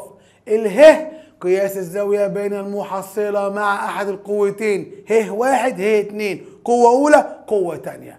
طب القانون بقى إيه؟ إيه هو القانون اللي بيعين قيمة المحصلة خلي بالك. ما تقولش اللي بيعين وتسكت لا أنا عايز قيمتها. إيه هو القانون اللي بيجيب قيمة المحصلة؟ قال لك احفظ معايا وافهمه بس على حتت على أجزاء. ح تربيع بتساوي قاف واحد تربيع زائد قاف اتنين تربيع. يعني ممكن وإحنا بنحفظه نقسمه كده. احفظ الحتة دي كده لوحدها الأول. ح تربيع بيساوي قاف واحد تربيع زائد قاف اتنين تربيع. خلاص خلاص؟ زائد اتنين قاف واحد قاف اتنين جتا يه يبقى على بعض كله بيقول ح تربيع بيساوي. قاف واحد تربيع زائد قاف اتنين تربيع زائد اتنين قاف واحد قاف اتنين جتا يه القانون ده كان معمول مخصوص لإيجاد قيمة المحصلة. بس تعالى نتكلم بقى بصراحة شوية. القانون ده يحتوي على أربع متغيرات. ح قاف واحد قاف اتنين يه وبناء عليه لو أنت معاك قانون فيه أربع متغيرات أول ما أجيب لك أي تلاتة منهم يبقى أنت على استعداد تام تجيب لي الرابع. يعني هنا عندي سؤال مباشر. لو أنا جبت لك قاف واحد وقاف اتنين واليه أكيد هطلب منك المحصلة. سهلة بسيطة. ده تعالى بقى المرة الجاية والنهاردة هنقول إيه؟ طب أنا هجيب لك الحاء والقاف واحد والقاف اتنين هطلب منك ايجاد اليه سهلة وبسيطة. طالما أعرف أعوض في قانون المحصلة كل حاجة سهلة وبسيطة. يبقى خلي بالكم يا شباب خلي بالكم يا حبايبنا لازم لما يجيب لك سيرة المحصلة معلومة أو مجهولة يبقى لازم سيادتك تستخدم لي قانون المحصلة. يبقى القانون اللي قدامكم ده يا حبايبي بيحدد قيمة المحصلة. قيمتها بس. ليه بتقول قيمتها بس؟ لأن عندي قانون تاني بيعين اتجاه المحصلة. في فرق ما بين قيمتها واتجاهها. طب قيمتها؟ ح تربيع بيساوي ق واحد تربيع زائد ق اتنين تربيع زائد اتنين ق واحد ق اتنين. جاتا إيه وبالمناسبة إحنا ممكن كنا نشيل التربيع ده بس تحط علامة جذر كبيرة خالص على المقدار اللي جوه كله. براحتك. بس الشكل ده أبسط وأحسن. أما لما أجي أقول لك عايز تعيين اتجاه المحصلة فأنت تقول لي إيه؟ مستر هو يعني إيه كلمة اتجاه؟ يعني إيه كلمة اتجاه المحصلة؟ اتجاه المحصلة يعني قياس زاويه ميل المحصلة على أحد القوتين. قياس زاويه ميلها على أحد القوتين. هتقول لي إيه ده؟ ثواني يا مستر ده اللي أنت عمال تقوله ده هو تعريف اله. ما هي اله؟ هي زاوية ميل المحصلة على أحد القوتين. برافو عليك. شاطر. يبقى أنا أول ما أطلب منك اتجاه المحصلة يبقى تجيب لي زاوية ميلها مع أحد القوتين. وزاوية ميلها مع أحد القوتين يبقى أنا معايا زاويتين مش زاوية واحدة زاوية ميلها مع القوة الأولى اللي هي واحد. زاوية ميلها مع القوة الثانية اللي هي هي اتنين. تعالوا نشوف مع بعض القوانين بتاعتنا هتقول إيه في إيجاد زاوية ميل محصلة على القوة الأولى وعلى القوة الثانية. حضرتك هتستخدم لي ظا ظا اللي هي ظل الزاوية. يبقى ظا هي واحد. وطالما قلنا ظهير واحد يبقى دي زاوية ميلها مع القوة الأولى. فالراجل قال لحضرتك إيه؟ طالما أنت عايز تجيب زاوية ميلها مع القوة الأولى قاف اتنين. أيوه أيوه أنا قاصد أنا بقول إيه؟ مع القوة الأولى قاف اتنين على قاف واحد زائد قاف اتنين. مع القوة الأولى قاف اتنين على قاف واحد زائد قاف اتنين. يعني عكسها نفسها عكسها. وبناء عليه لما أجي أقول لك عايزها بقى مع القوة التانية قول لي قاف واحد على قاف اتنين زائد قاف واحد. وتروح جاي حاطط لي فوق جا وتحت جتا. طب أنا خايف أتلخبط في الجا والجتا دول. تروح جاي راجع مركز في الكلمة دي. هتلاقي الكلمة دي هي ظا. تقول آه أنا مش هغلط. ما هي الظا بتساوي جا على جتا. يبقى أنا لما أطلب منك عين المحصلة عينها يبقى عايزها مقدارا واتجاها. مقدارا خدنا القانون بتاعها اتجاها يبقى تجيب لي زاوية ميلها إما مع القوة الأولى أو مع القوة التانية. يبقى إحنا دلوقتي اتكلمنا في إيه؟ إن أنا عندي قانون بيجيب لي قيمة المحصلة وعندي قانون بيجيب لي اتجاه المحصلة. بستخدم ده إمتى؟ وده إمتى؟ تعال نشوف مع بعض من خلال مثال والتطبيق بقى على أرض الواقع. معلش وجعنا دماغكم النهارده شوية ببعض التعريفات وبعض الملاحظات وبعض الحكايات بس كان لازم تسمع الكلام ده عشان تقتنع بالكلام اللي هتشوفه. وبعد كده ما تخافش مفيش حاجة في الميكانيكا معناها الكلام ده خالص. خلاص هنشيله على جنب هنبدأ نحل. بس بدايتها كان لازم تعرف انت هتتعامل مع إيه مع القوة إيه هي وايه قصتها وحكايتها بالظبط. يلا بينا نحضر الورقة والقلم والآلة أهم حاجة والورقة اللي على جنب لو عندك أي ملحوظة عشان تكتبها. يلا بينا نشوف مع بعض المسائل بتاعتنا بتقول إيه. السؤال الأول بيقول لي قوتان مقدارهما 3 و5 هستأذن حضرتك إن أنا كل ما أقول لك سؤال له علاقة بالإستاتيكا قول لي ثواني يا مستر بعد إذنك هكتب بعض المعطيات. اتفضل. طالما القوتين مقدارهم 3 و5 يبقى قاف واحد بيساوي 3 وق اتنين بيساوي 5 برافو عليك صح. قال لي نيوتن هو دايما هيجيب لك الوحدة إما نيوتن أو داين أو ثقل كيلو جرام أو ثقل جرام. هنا قال نيوتن هروح جاي كاتب على الوحدتين بتوعنا نيوتن. وقياس الزاوية بينهم ستين. بينهم ستين كلمة بينهم عائدة على القوتين. يبقى هو يقصد إيه؟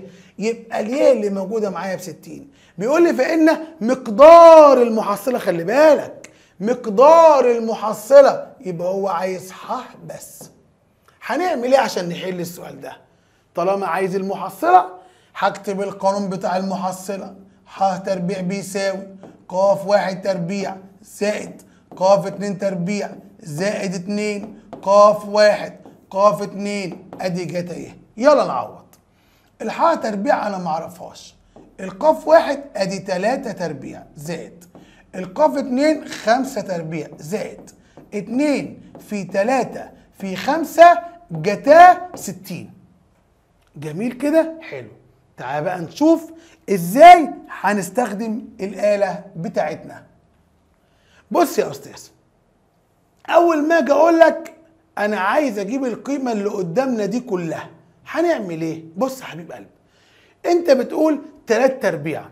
لو أنت حافظ إن هي بتسعة وبسيطة عندك اكتب. طب مش حافظ وأرقام كبيرة؟ افتح قوس اكتب ثلاثة اقفل القوس حط تربيع. هنا أنا حافظ الكلام ده بسيط. 3 تربيعها 9 زائد 5 تربيعها 25 زائد 2 في 3 في 5 cosine اللي هي جتا. أول ما اضغط cosine هيفتح لي قوس. هروح جاي كاتب 60 وقافل القوس. لازم أقفل القوس وأضغط يساوي طلع 49 اوعوا تنسوا حبايبنا يا غاليين إن ال 49 اللي موجودة معاك دي هي قيمة مربع المحصلة. مربعها آه. مربع المحصلة. يبقى أنا المفروض آخد الجذر التربيعي للطرفين ومنها المحصلة بيساوي سبعة. سمعك يا اللي بتقول مش أنا خدت الجذر التربيعي اللي ما أحطش موجب أو سالب؟ دي قوة مفيش قوة بالسالب. يبقى أنا هقول له إذا المحصلة بيساوي سبعة هلاقي الإجابة ألف هي الإجابة الصحيحة. فالموضوع زي ما انت شايف بسيط بس محتاج نظام شوية. حفظ قانون محتاج نظام شوية. في التعويض محتاج تركيز شوية في استخدام الآلة. السؤال اللي بعده. السؤال اللي بعديه بيقول لي قوتان. مقدارهما 8 جذر 3 و8 هروح جاي له ق واحد بيساوي 8 جذر 3 ق 2 بيساوي 8 مستر طب انت كاتب لي هنا بفرض أن. معنى كلمتك بفرض أن إن ممكن اقلبهم هما الاثنين طالما قال لك قوتان وفتحهم لك يبقى انت تفرض زي ما انت عايز. أما لو قال لك قوة مقدارها 8 قوة مقدارها 8 وقوة أخرى مقدارها 3 يبقى هنا كأنه بيشاور لك إن هو دي غالبا هتكون ق واحد وق اتنين وفي بعض الحالات حتى لو قلبت هيطلع نفس الناتج. أما لو قال لك إيه بقى؟ مقدار القوة الأولى باتنين ومقدار القوة التانية بسبعة لا ده هنا مسميهم لك بالاسم. فهنا هقول مقدارهما كذا وكذا هنفرض إن ق واحد بيساوي 8 جذر 3 هنفرض إن ق 2 بيساوي 8 تؤثران في نقطة مادية. ما هو طبيعي إن القوتين بتوعنا يكونوا خارجين من نفس النقطة. وتحصران بينهما زاوية 150 آه دي ليه؟ بينهما يبقى دي ليه؟ طلباتك قال لي عين المحصلة. الكلمة دي رخمة. أنا فاكرك فاكرك. عين المحصلة دي معناها إيه يا حبايبي؟ إن هو عايز المحصلة. علامة استفهام. وكمان عايز زاوية من المحصلة. علامة استفهام. طالما قال لك عين يبقى عايزها مقدارا واتجاها. المقدار هو الح الاتجاه هي اله وممكن نجيب هي واحد. طب يلا بينا نشوف مع بعض هنحل السؤال إزاي؟ اوعوا تنسوا يا أولاد ان أنا بكتب القانون. طبعا لو السؤال عندك اختيارات في الامتحان فمش لازم اكتب القانون.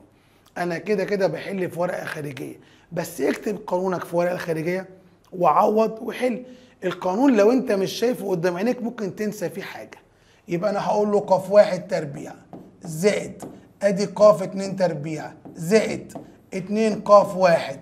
ق اتنين جتا لما نيجي نعوض يا أولاد ادي 8 جذر 3 لكل تربيع زائد 8 تربيع زائد 2 في 8 جذر 3 في 8 جتا 150 الكلام ده بقى هنجيبه إزاي باستخدام الآلة؟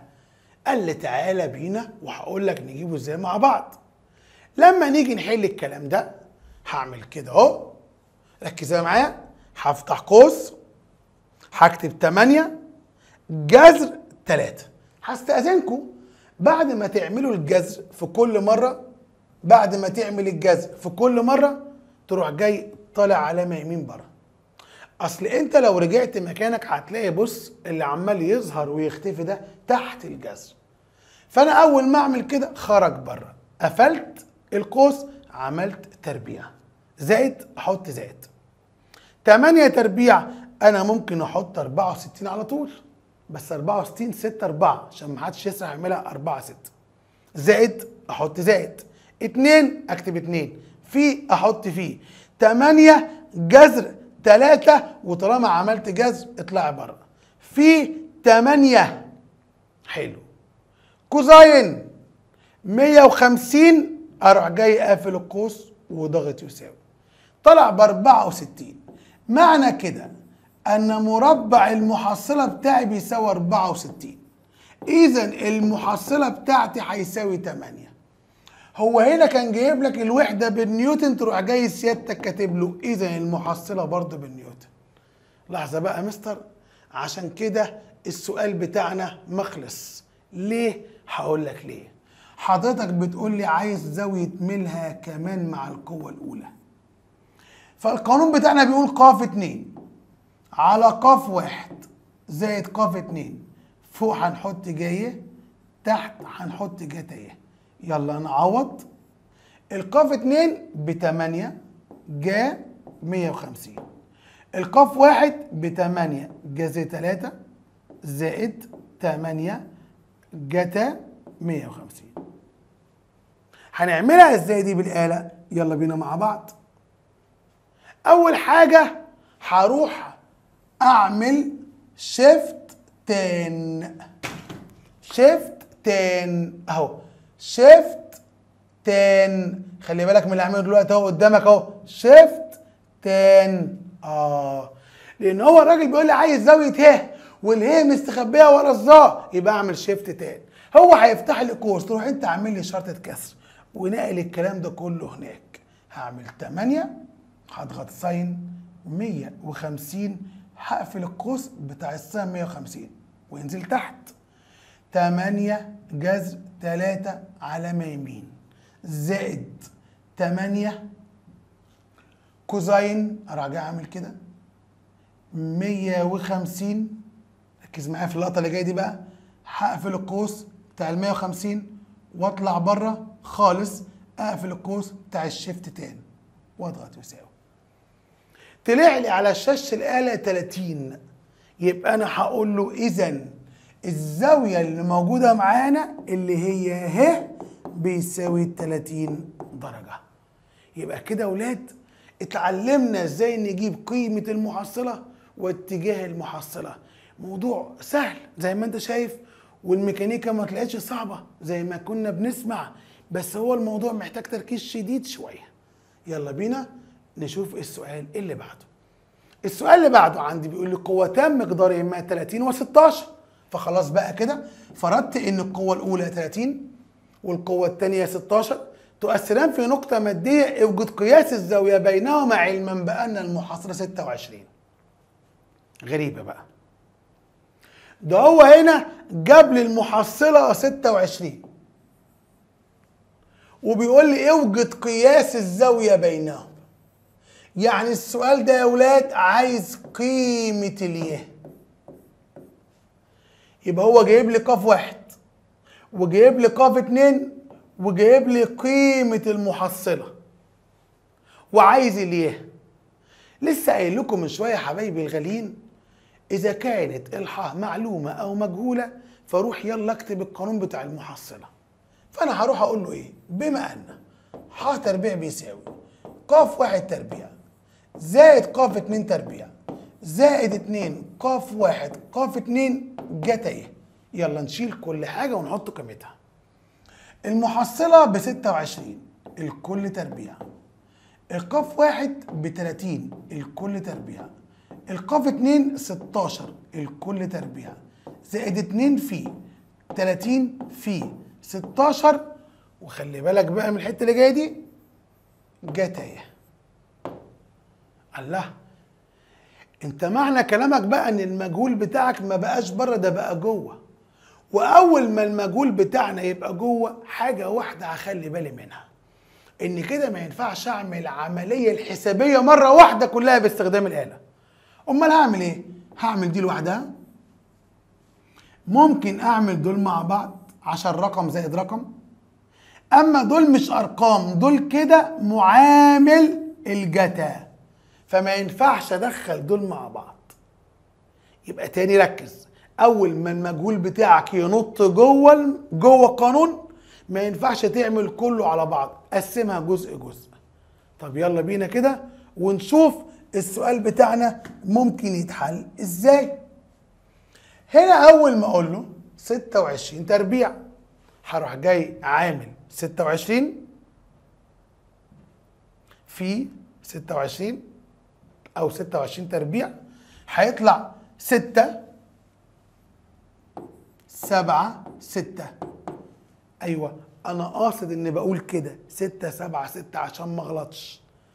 هروح أربع ال 30 هيطلع ب 900 تمام؟ هروح أربع ال 16 ممكن افتح قوس وادي 16 اقفل القوس تربيع واعمل يساوي. هيطلع 256 ادي زائد 256 زائد. هضرب دول في بعض. اللي هما 2 في 30 في 16 بيساوي 960 كل ده مضروب في جاتا إيه طب أنا كده خلاص تمام يا مستر. ظبطت كل ده مع بعضه. الحلوين دول أرقام. يطلعوا لي بره بعكس الإشارة. يعني أنا معايا بره آدي ستة سبعة ستة ناقص. تسعمية. ناقص. ميتين ستة وخمسين. كل ده بيساوي تسعمية وستين. جت اهي. هروح جاي عامل كده. واقول له هنا خلي بالك من اللي هيطلع. اهو. ادي ستة سبعة ستة. ناقص تسعمية. ناقص اتنين خمسة ستة. يساوي طلع سالب ربعمية وتمانين. ادي سالب ربعمية وتمانين. كل ده بيساوي تسعمية وستين جت إيه هنقسم على 960 للطرفين.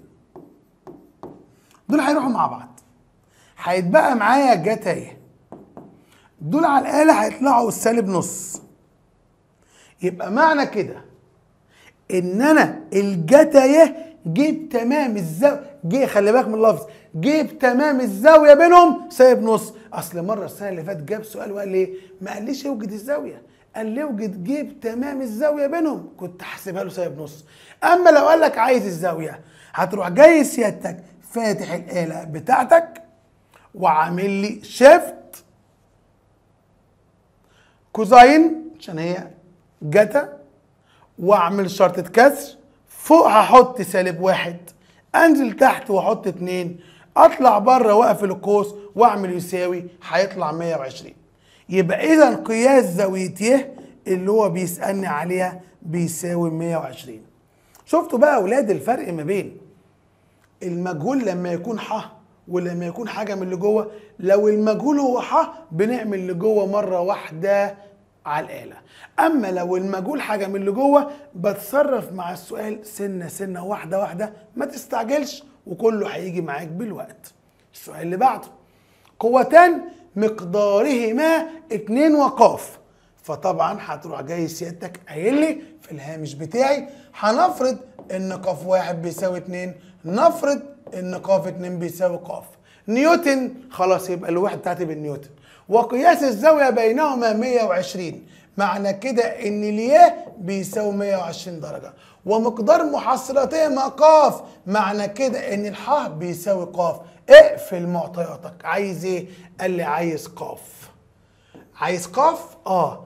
عينك لمحت كذا مجهول. ما تقلقش. ما تخافش. ما تخافش من أي حاجة. هنعمل إيه؟ مستار أول حاجة هروح أكتب قانون المحصله برافو عليك. ح تربيع بيساوي ق واحد تربيع. زائد ق اتنين تربيع. زائد اتنين. قاف واحد. قاف اتنين جت إيه يلا نشيل كل حاجة ونحط قيمتها. الحا بقاف. يبقى الحا تربيع بقاف تربيع. القاف واحد باتنين. يبقى مربعها أربعة. القاف اتنين بقاف. يبقى مربعها قاف تربيع. هنزل اتنين في القاف واحد باتنين في القاف اتنين بقاف جتاه. 120 في مشكلة كده؟ تمام. تعال أقول لك حاجة بيني وبينك عشان ناس شاطرة وتستحقوها. أول ما تلاقي طرفي المعادلة فيهم حاجتين توأم في اليمين والشمال طيرهم مع بعض. يعني هنا يا مستر قصدك أقول هشيل القاف تربيع مع قاف تربيع؟ آه. ده استنادا لإيه؟ إن أنت لو خرجت دي بره بعكس الإشارة. هتقول قاف تربيع ناقص قاف تربيع صفر. خلاص؟ طب ما ناخدها من قصرها ونقول إيه؟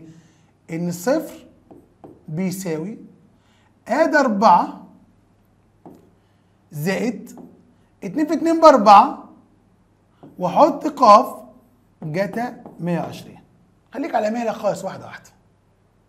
هنسيب الصفر زي ما هو وملناش دعوة بالأربعة وأروح أضرب الأربعة في جتا 120 دايما لما تلاقي رقم مضروب في جتا أو جا مضروبين في بعض روح اضربهم. عارف لو إيه 2 في 5 في جاتا 120 اضربهم. فأول ما أعمل على الآلة 4 كوزين 120 اقفل القوس هيديني سالب 2 يبقى دول كده حاصل ضربهم سالب 2 اوعى تنسى إن القاف واقفة معاك. يلا بينا نخرج. دي بره بعكس الإشارة. فهيطلع بره بسالب 4 كل ده بيساوي سالب 2 قاف فهنقسم على سالب 2 للطرفين دول هيروحوا مع بعض ومنها قاف هتساوي 2 إذا قيمة القاف اللي هو مصدعني بيها دي طلعت بتساوي 2 بسيطة خالص. طب سؤال يا مستر اتفضل يا حبيب قلبي. هل بعد ما أجيب قيمة القاف ممكن يزود السؤال؟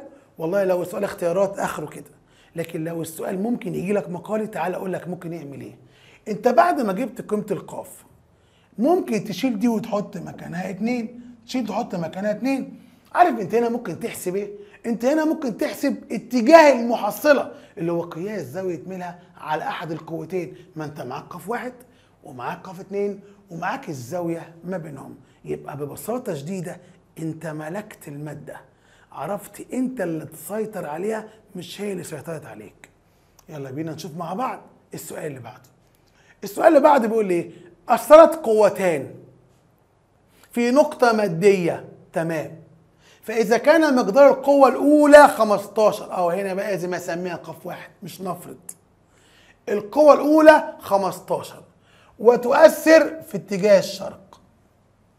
أول ما يجيب لك سيد شرق غرب شمال جنوب ارسم شبكة تربيعية اتجاهات أصلية أو فرعية ارسم شبكة تربيعية هروح أرسم الشبكة التربيعية هو قال لك إن القوة الأولى مقدارها 15 تؤثر في اتجاه الشرق. تروح أنت في اتجاه الشرق عامل خط عمل القاف واحد وتقول هي ب 15 رجع وقال والقوة الثانية مقدارها 18 قاعدة فين يا القوة الثانية قاعدة فين؟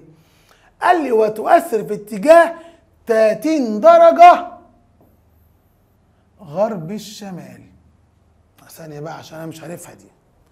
والمعلومة دي هتنفعني في الدروس اللي جاية بس تعال نقولها دلوقتي. طب أنت قلت الأولى في اتجاه الشرق يعني قاعدة على الجزء الموجب لمحور السينات اقعدي. التانية بتصنع زاوية 30 في اتجاه غرب الشمال. تعال أقول لك لو معاك زاوية وجايب لك اتجاه بالمنطق تعمل فيه أول حاجة هتروح ما بين الغرب والشمال تروح جاي خابط لي أي خط. ده الغرب وده الشمال. تروح جاي عامل أي خط تمام. وتروح جاي سيادتك رايح لي عند الزاوية وحاططها جنب الكلمة الثانية اللي هي دايما بتكون معرفة بألف ولام. يعني لو قال لك 30 ها ركز مع 30 غرب كبر دماغك. الشمال يبقى أنت يا 30 روح اقعدي جنب الشمال. أهو. عارف لو كان قال 30 تمام ماشي. شمال فكك. الغرب يا 30 روح اقعدي لي جنب الغرب هنا. يبقى تخلي بالكم الحتة دي. عارف لو قال 60 ماشي. شمال فكك. الشرق يبقى ال 60 هتروح تقعد جنب الشرق. فهمتوا الكلام كده؟ فتركزوا في الحتة دي مهمة جدا. طب عارف لو عمل لك دي كده؟ وقال لك هنا إيه؟ 60 شمال الشرق زي ما قلناها هتروح ما بين الشمال والشرق وتعمل لي أي خط. وتروح تمسك الزاوية وتنام على القوة التانية على الاتجاه التاني اللي هو فيه كلمة شرق. يبقى أنا الستين مش هحطها فوق هحطها تحت. عشان هو قال الكلمة التانية شرق. طب يلا بينا نكمل بقى. كده طلعت بإيه من السؤال بتاعك؟ إن معايا قاف واحد ومعايا قاف اتنين. ومعايا الزاوية ما بينهم اللي هي ليه بتساوي 120 درجة اللي هي 30 زائد 90 يبقى أنا كده معايا قاف واحد ومعايا قاف اتنين ومعايا ليه طلباتك قال لي اوجد مقدار واتجاه المحصلة. إيه الجمال ده؟ ده سؤال سهل خالص. ده أنا بمجرد ما أعوض هحل سؤال تعويض مباشر. ليه؟ هقول له ح تربيع ما أعرفهاش. قاف واحد تربيع 15 تربيع قاف 2 تربيع 18 تربيع زائد 2 في 15 في 18 جتاه 120 ونقول تاني عشان خاطر الناس اللي حاسة إن هي خايفة هتروح سيادتك على آلتك وتروح جاي فاتح قوس عامل 15 قافل القوس تربيع زائد. أفتح قوس 18 قافل القوس تربيع زائد وطول ما أنت بتكتب على شاشة الآلة عينك على الشاشة ممكن رقم ما يتكتبش ولا حاجة يبوظ لك الناتج. زائد 2 في 15 في 18 كوزين 120 اقفل القوس اضغط يساوي؟ طلع 279 يبقى راح جاي عامل كده أهو. آدي ح تربيع بيساوي 279 طبعا هناخد الجذر هروح جاي عامل علامة الجذر. آدي 2 أيوه بص أنا بقراها إزاي. 2 7 9 أطلع بره الجذر واضغط يساوي طلع 3 جذر 31 إذا الح تساوي 3 جذر 31 هو قال فوق إيه؟ نيوتن؟ يبقى ده كمان بالنيوتن ما أنا ما, ما, استعجلتش. أنا مش خايف أنا مش قلقان هعرف أحل. طيب يلا بينا هو عايز إيه؟ واتجاهها يبقى أنا هكتب قانون الاتجاه اللي هو ظاهر واحد وهكتب قاف اتنين وأكمل القصة بتاعتنا. يبقى حضرتك استخدام الآلة مهم ومفيد بس محتاج مني تركيز. طب يلا بينا نقول الاتجاه هيساوي إيه؟ آدي ظاهر واحد. طالما قال لك اتجاهها يعني عايز زاوية ميلها مع القوة الأولى اللي هي قاف اتنين اللي هو 18 جاية اللي هي جاية 120 قاف واحد 15 زائد قاف اتنين 18 جتا يه اللي هي جتا 120 راح جاي فاتح آلتي. أنا عايز مين؟ عايز الايه يبقى أضغط شيفت تان وأعمل شرطة كسر هكتب فوق 18 sine 120 واقفل القوس وانزل تحت. 15 زائد 18 cosine 120 هقفل القوس أطلع بره أقفل القوس الكبير وأعمل يساوي. طلع معايا رقم غريب كده يا مستر. عادي عادي عادي بس اضغط comma عشان يطلع معاك درجات ودقايق وثواني. هنا الدرجات 68 درجة والدقايق 56 هنا بقى الثواني إيه؟ 53 و79 79 من 100 دي يعني معدية نص المية. يعني يزود لي واحد عندي هنا هيبقى 54 يبقى 68 درجة. 56 دقيقة 54 ثانية. يبقى أنا كده حتى لما أغير صيغة السؤال عرفت أتعامل. عشان فهمت. وزي ما قلت وهفضل أقول أنا اللي بقيت متحكم في المادة مش هي اللي متحكمه فيا. يلا السؤال اللي بعده. بيقول لي قوتان متلاقيتان في نقطة. الفرق بين مقدارهما 15 دي مهمة جدا بتيجي في الامتحان كتير. أول ما يجي يقول لك الفرق بينهم 15 الفرق بينهم 15 فرق بينهم 15 يبقى قاف واحد ناقص قاف اتنين 15 فرق بينهم أربعة. قاف واحد ناقص قاف اتنين بأربعة. الفرق بينهم تمانية. قاف واحد ناقص قاف اتنين بتمانية. أما لما يجي يقول مجموعهم اتنين. يبقى قاف واحد زائد قاف اتنين باتنين. مجموعهم. مجموعهم عشرة قاف واحد زائد قاف اتنين بعشر. هتفرق؟ طبعا تفرق. تعال أقول لك أهو. أول ما الراجل يقول لك في الامتحان إن هما الفرق ما بينهم 15 فأنا هكسب من المعلومة دي المعادلة الحلوة دي. وأروح جاي في نفس اللحظة في نفس اللحظة عامل إيه؟ أول ما أقول قاف واحد ناقص قاف اتنين ب 15 هرجع وأروح جاي مطلع دي بره بعكس الإشارة عشان أعوض. لأن أنا مش هقابل في المعادلة قاف واحد ناقص قاف اتنين دي. فعشان عاوز أعوض هثبت القاف واحد جوه وأقول له 15 زائد قاف اتنين يبقى أنا دلوقتي هيتم عن تعويض عن كل قاف واحد ب 15 زائد قاف اتنين كده بقى معايا قيمة آه مش جاهزة آه مش سليمة بس ماشي هتمشي الدنيا. يبقى أنا كمان شوية. كل ما أشوف قاف واحد أحط 15 زائد قاف اتنين.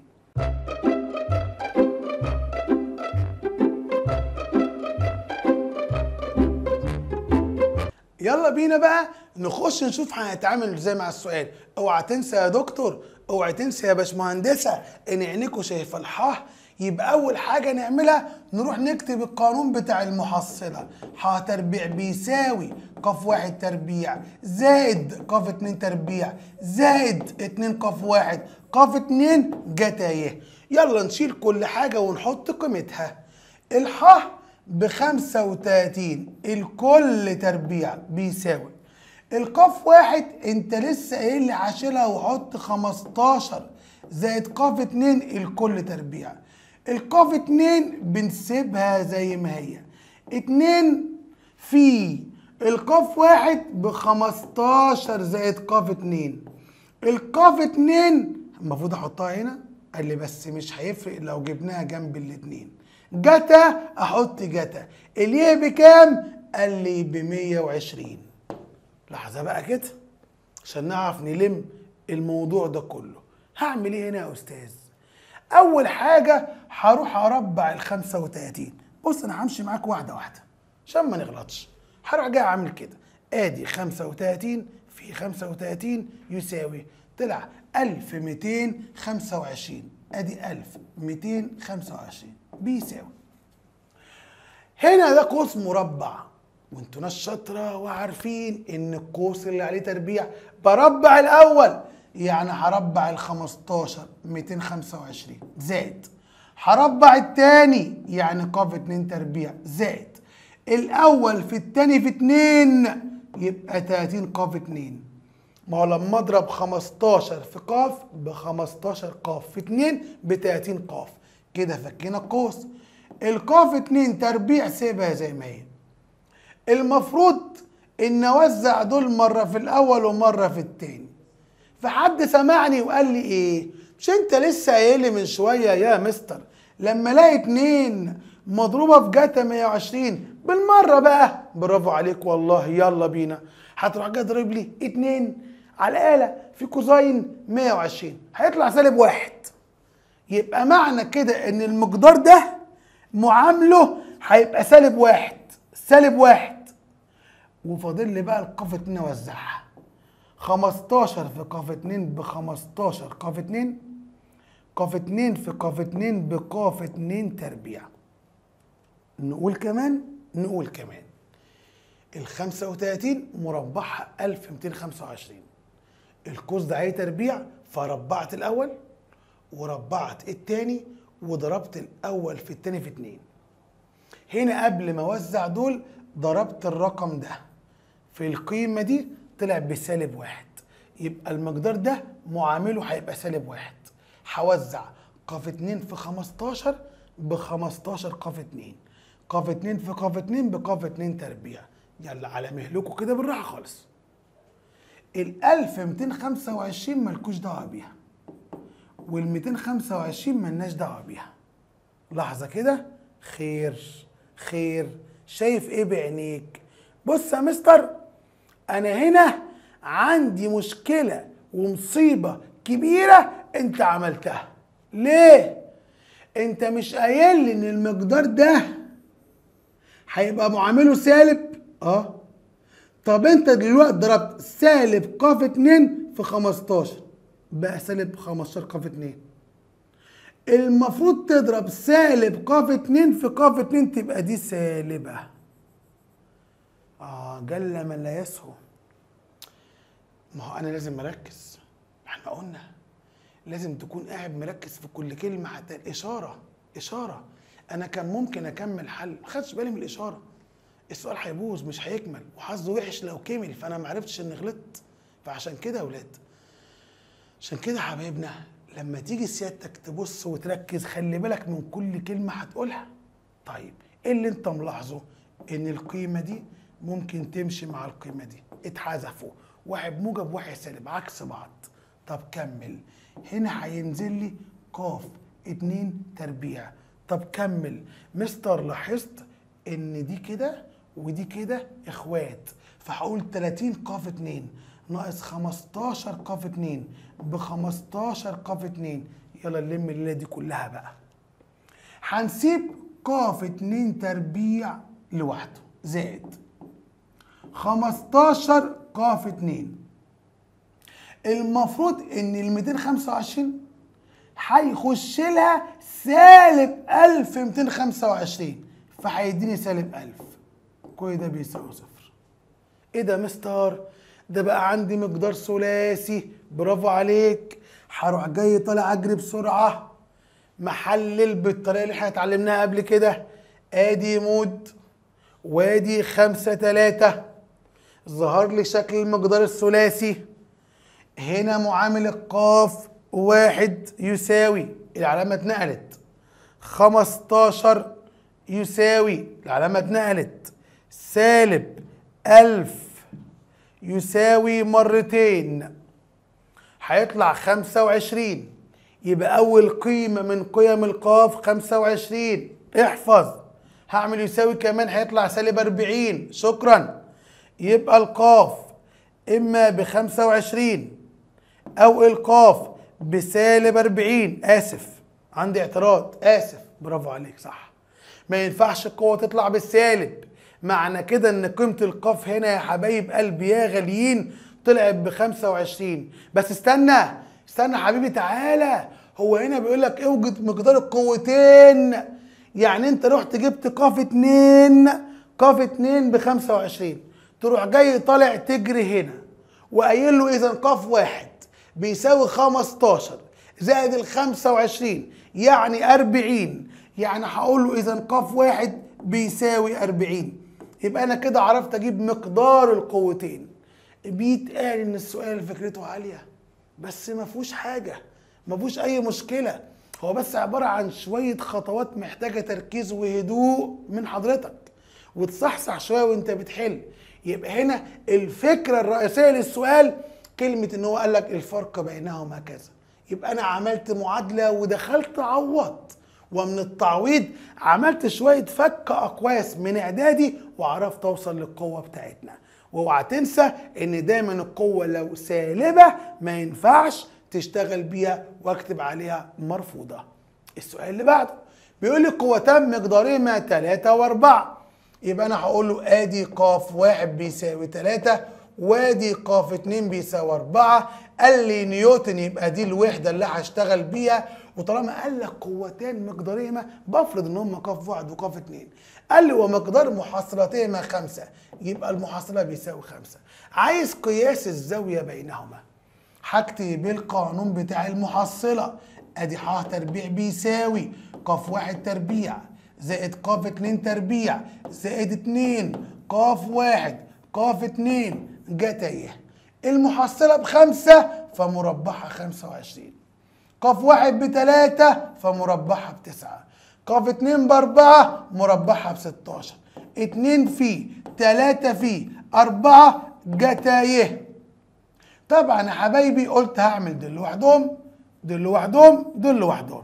مبدئيا كده يا دكتور دول مجموعهم 25 ولسه قايلين من شوية لو معاك معادلة فيها طرفين ظهر لك اتنين توأم في الطرفين احذفهم مع بعض. يعني بره هيبقى صفر وهنا هيبقى اتنين في تلاتة بستة ستة في أربعة بأربعة وعشرين. جتايه. هنقسم على الأربعة وعشرين للطرفين. دول هيروحوا مع بعض.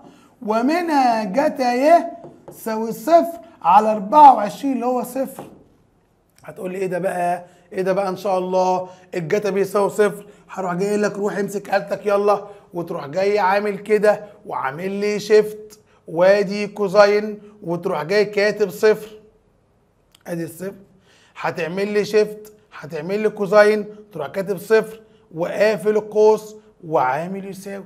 طلع 90 آه دي ليها حل أهو. يبقى معنى كده إن الزاوية بتاعت طلعت ب 90 يبقى كده الحل ده هو الحل الصحيح. السؤال اللي بعده قوتان مقدارهما 3 و5 يبقى أقول له هنفرض إن قاف واحد بيساوي 3 نفرض إن قاف 2 بيساوي 5 قياس الزاوية بينهما 90 بينهما 90 يبقى ليه ب 90 فإن خلي بالك وركز فإن ظل زاوية ميل المحصلة على القوة الأولى نقط. ظل الزاوية ظل الزاوية يبقى المطلوب هنا ظاهر واحد. مش المطلوب ه واحد المطلوب ظاهر واحد مش ه واحد. وبناء عليه سيادتك هتروح تكتب لي القانون بتاع ظاهر واحد. اللي هو قاف اتنين جاية على قاف واحد زائد قاف اتنين جتايه يلا نعوض. القاف اتنين بخمسة جا تسعين. القاف واحد بتلاتة زائد خمسة جتا تسعين. حبيب قلبي هو عايز ظا هـ واحد. حبيب قلبي ما تضغطش shift tan. ما تضغطش shift tan. هتعملي العملية الحسابيه بدون ما أضغط shift tan. يعني هعمل شرطه كسر آدي خمسة.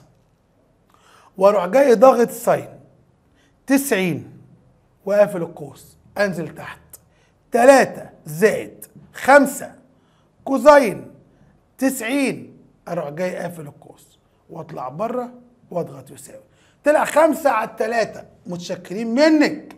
يبقى القيمة دي بتساوي 5 على 3 رحت أبص في الاختيارات لقيت 3 إلى 5 حبيب قلبي دي معناها 3 على 5 مش انت لقيت 5 إلى 3 هي دي.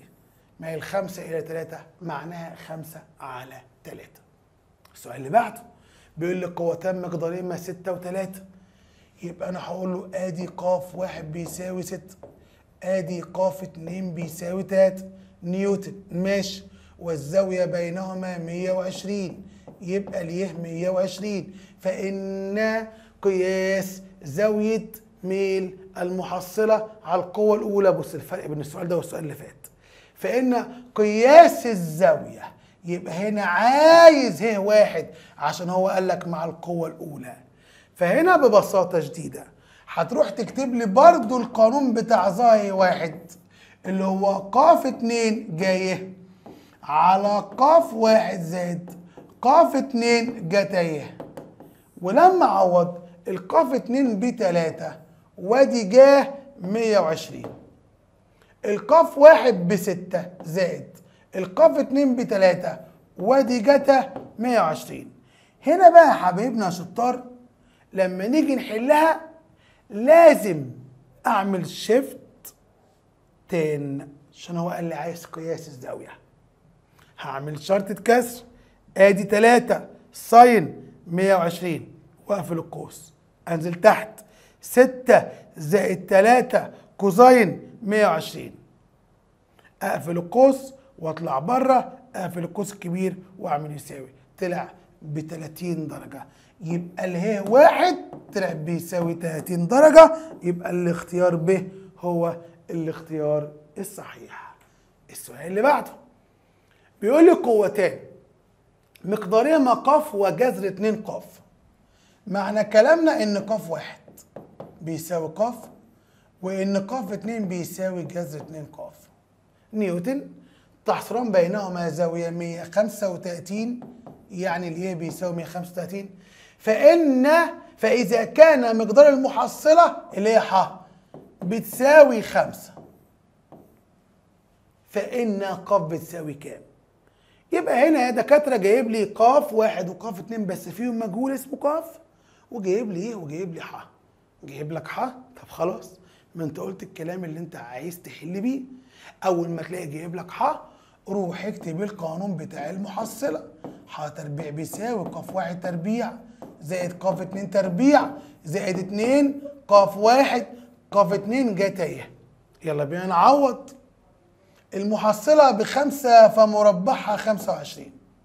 القاف واحد بقاف فمربعها قاف تربيع. اصحى بقى من الحتة اللي جاي اللي معايا. القاف اتنين بجذر اتنين قاف. فأنا عايز أربع جذر اتنين وأربع القاف فالجذر اتنين مربعها اتنين. وعايز أربع القاف فهقول قاف تربيع. زائد اتنين في.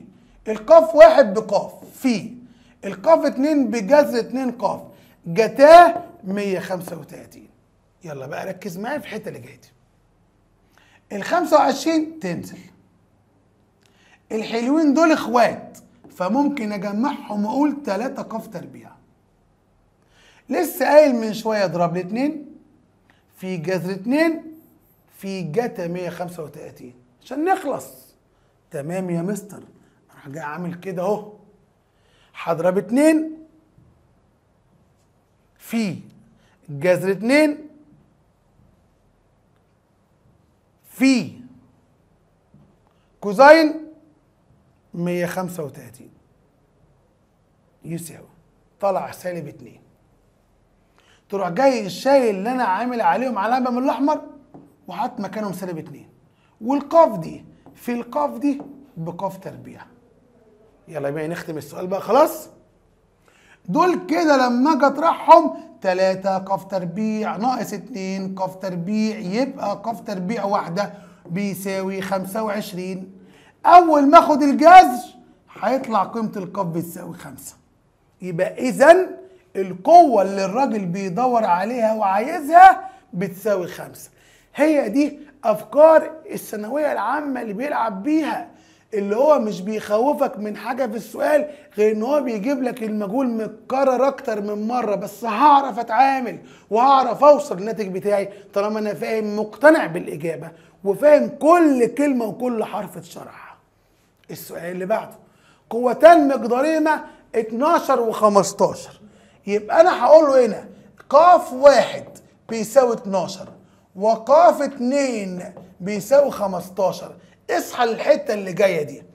الراجل بيقول لك وكان جيب تمام الزاوية بينهما سالب 4 على 5 إيه الحلاوة دي؟ ده جايب لي جيب التمام.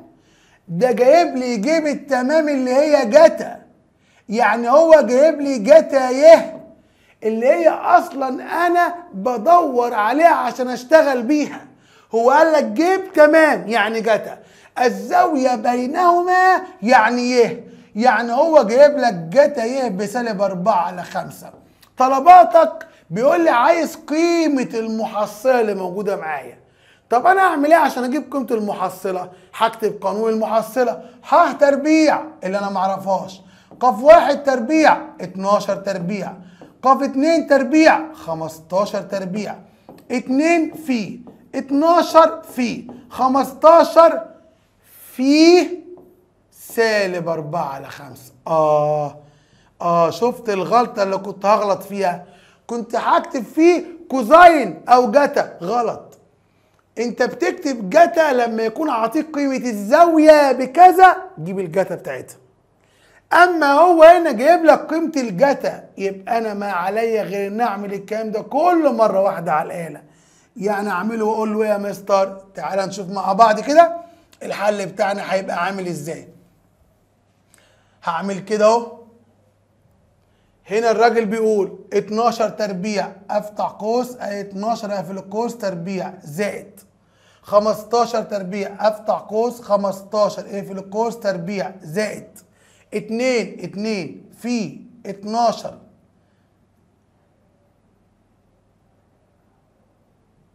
2 في 12 في 15 في هروح جاي عامل شرطة كسر فوق أحط سالب أربعة وانزل تحت أحط خمسة واطلع بره واضغط يساوي. طلع بواحد وتمانين الواحد وتمانين دي قيمة مربع المحصلة. هناخد الجذر ومنها المحصلة هتساوي تسعة.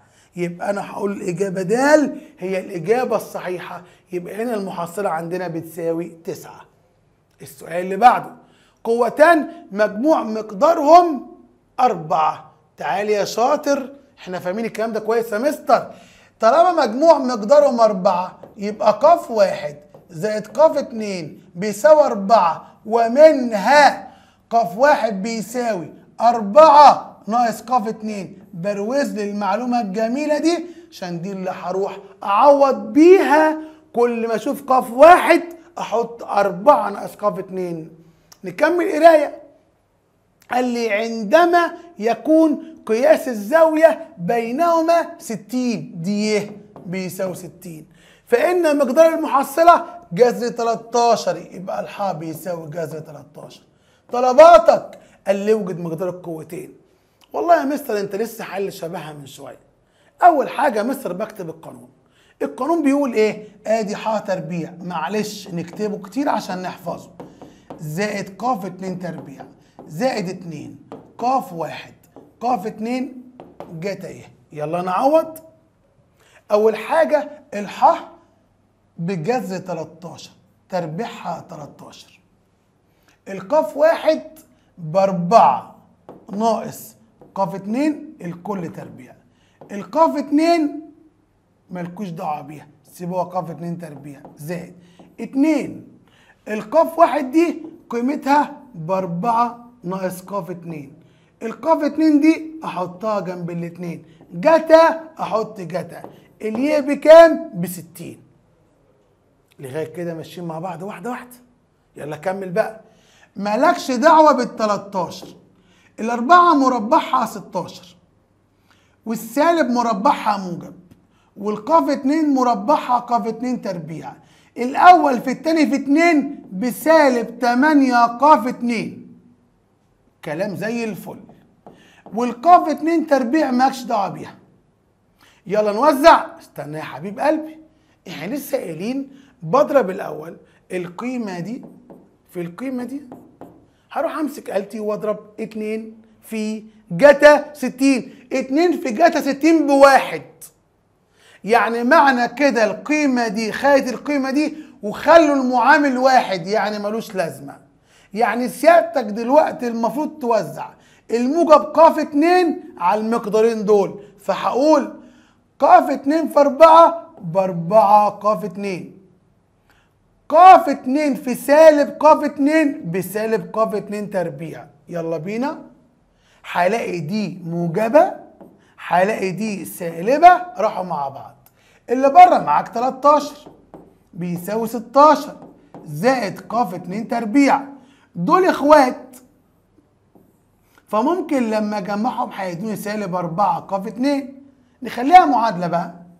يبقى القاف 2 تربيع اللي قاعدة جوه ناقص 4 قاف 2 ال 16 هيجي لها سالب 13 هيديني 3 بيساوي صفر.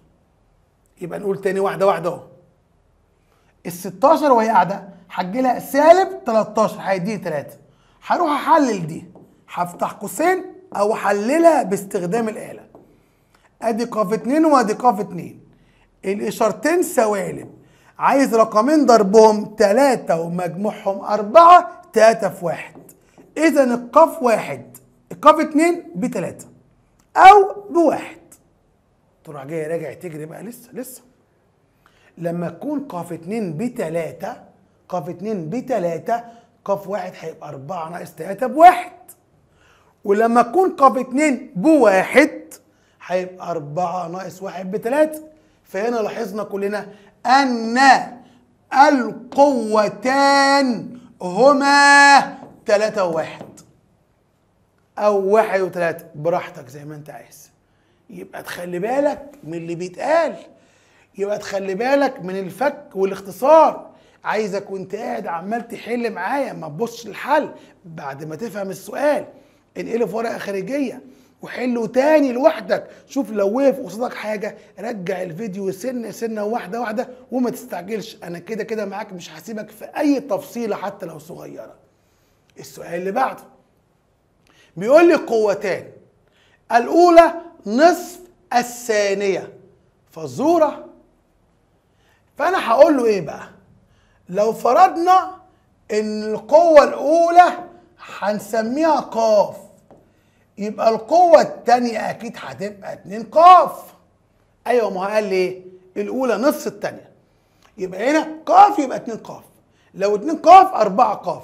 بس أنا هفرضها يعني. قاف واتنين قاف. الأولى نصف الثانية في المقدار. ولهما محصلة ما مش عرفها فإذا زيد خلي بالك بقى عشان كده الموضوع وقف. فإذا زيد مقدار القوة الأولى أربعة. يعني هي كانت قاف أنا هخليها قاف زائد أربعة. وضوعف مقدار القوة التانية. يعني القوة التانية كانت اتنين قاف ضعفها تبقى أربعة قاف. الفزورة دي بقى واحدة واحدة. يبقى أنا كده راجل بيقول لك حدوتة بيحكي لك قصة بيقول لك إيه؟ لو أنا معايا قوتين واحدة فيهم نص التانية اعذرونا بقى خلاص. مفيش صوت ومفيش مجهود. ربنا يجعله بس في فايدة إن شاء الله ونفرح بيكم كلكم يا رب. هنا عاطيني قاف واحد بقاف. والقاف اتنين باتنين قاف عشان نصها. فقال لي إيه بقى؟ لو مسكنا القوة الأولى وزودناها أربعة ومسكنا القوة التانية وضاعفناها إيه اللي يحصل وإيه اللي يجرى بقى؟ قال لي فإن محصلاتهم تظل في نفس الاتجاه. هي الكلمة دي هي الكلمة دي نفس الاتجاه. ربنا يبارك فيكم يا رب ويحميكم من كل شر. يا رب يجعل تعبنا في فايدة معاكم. نفس الاتجاه كلمة نفس الاتجاه دي يعني طلع من قانون المحصلة اللي هي ح ودخل في قانون اتجاه المحصلة. فاكر قانون اتجاه المحصلة؟ قال لي آه. اللي هو زاوية ميلها مع القوة الأولى. قال لي أيوة يا مستر قاف اتنين جاية. على قاف واحد زائد. قاف اتنين جا تايه طب ممكن تكتبه تاني؟ ماشي.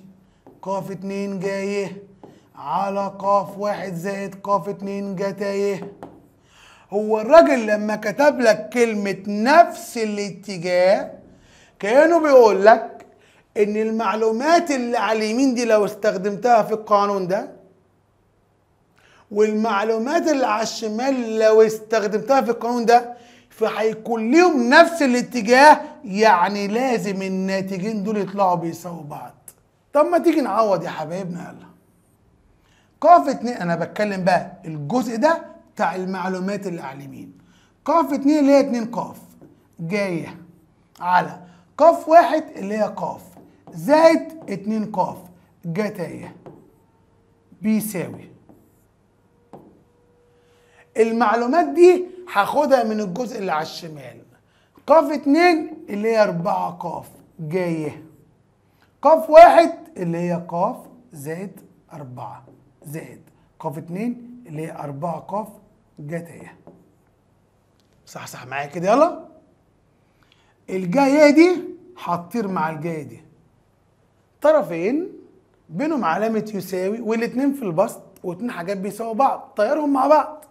وكمان القاف دي هتطير مع القاف دي. مع العلم إن ممكن كمان أختصر الاتنين مع الأربعة. هيبقى دي فيها الواحد فيها الاتنين بس بلاش. عشان في ناس بتتوتر شوية. يلا بينا بقى يا أولاد نعمل مقص في الشكل اللي أنت شايفه ده. المفروض إن نضرب الأربعة مرة هنا ومرة هنا. وأرجع تاني أضرب الاتنين مرة هنا ومرة هنا ومرة هنا. يلا بينا يا ولاد كده. أربعة في قاف بأربعة قاف زائد. أربعة في اتنين بتمانية قاف جت إيه؟ بيساوي. اتنين في قاف باتنين قاف زائد. اتنين في أربعة بتمانية زائد. اتنين في أربعة بتمانية قاف جت إيه ها يلا سامعك سامعك يا شاطر يا اللي بتقول. موجب تمانية قاف جت إيه موجب تمانية قاف جت إيه هنطيرهم مع بعض. برافو عليك. هنا بقى معايا أربعة قاف بتساوي اتنين قاف زائد تمانية. هنجمع القاف في طرف أربعة قاف ناقص اتنين قاف بيساوي اتنين قاف يساوي تمانية. لما أقسم على الاتنين هيطلع قيمة القاف بتساوي أربعة. يعني هو هنا بيقول لي اوجد مقدار القوتين. تعالى بقى أقول لك. مين اللي أنت جبتها دي؟ القاف اللي موجودة معانا. قاف بتساوي كام؟ أربعة. يبقى القوة الأولى بتساوي كام؟ أربعة. والقوة التانية بتساوي كام؟ تمانية. عشان هو قال لك الأولى نصف التانية يبقى القوتين بتوعنا يا حبايبنا يا غاليين بيساوي أربعة وكام؟ وتمانية. وبكده يا حبايبنا نكون اشتغلنا أول جزء في منهج تطبيقات الرياضة وهو إيجاد محصلة قوتين جبريا. وطبعا حضرتك لاحظت معايا إزاي بتعامل مع القوانين. احفظ قوانين كويس عشان أعرف أركز في الحل. يبقى أنا كده عرفت إزاي أجيب المحصلة بتاعة القوتين جبريا. طبعا لسه عندنا حالات خاصة على تعيين محصلة قوتين جبريا. يبقى الدرس الأول كله بيتكلم عن محصلة قوتين جبريا. إحنا النهاردة خدنا إزاي نجيب قيمة المحصلة واتجاه المحصلة. وفاضل معانا المرة الجاية هنتكلم على إزاي نستخدم الحالات الخاصة ودي بقى محتاجة تركيز مننا شوية في شوية قوانين وشوية أفكار وأهم حاجة شوية ألفاظ وما تنسوش إن إحنا مش هنسيبك. بعد ما نشرح الفيديوهين بتوع الشرح بتوعنا هنحل معاك أهم الأفكار مسائل كتيرة جدا من مسائل المستويات العالية.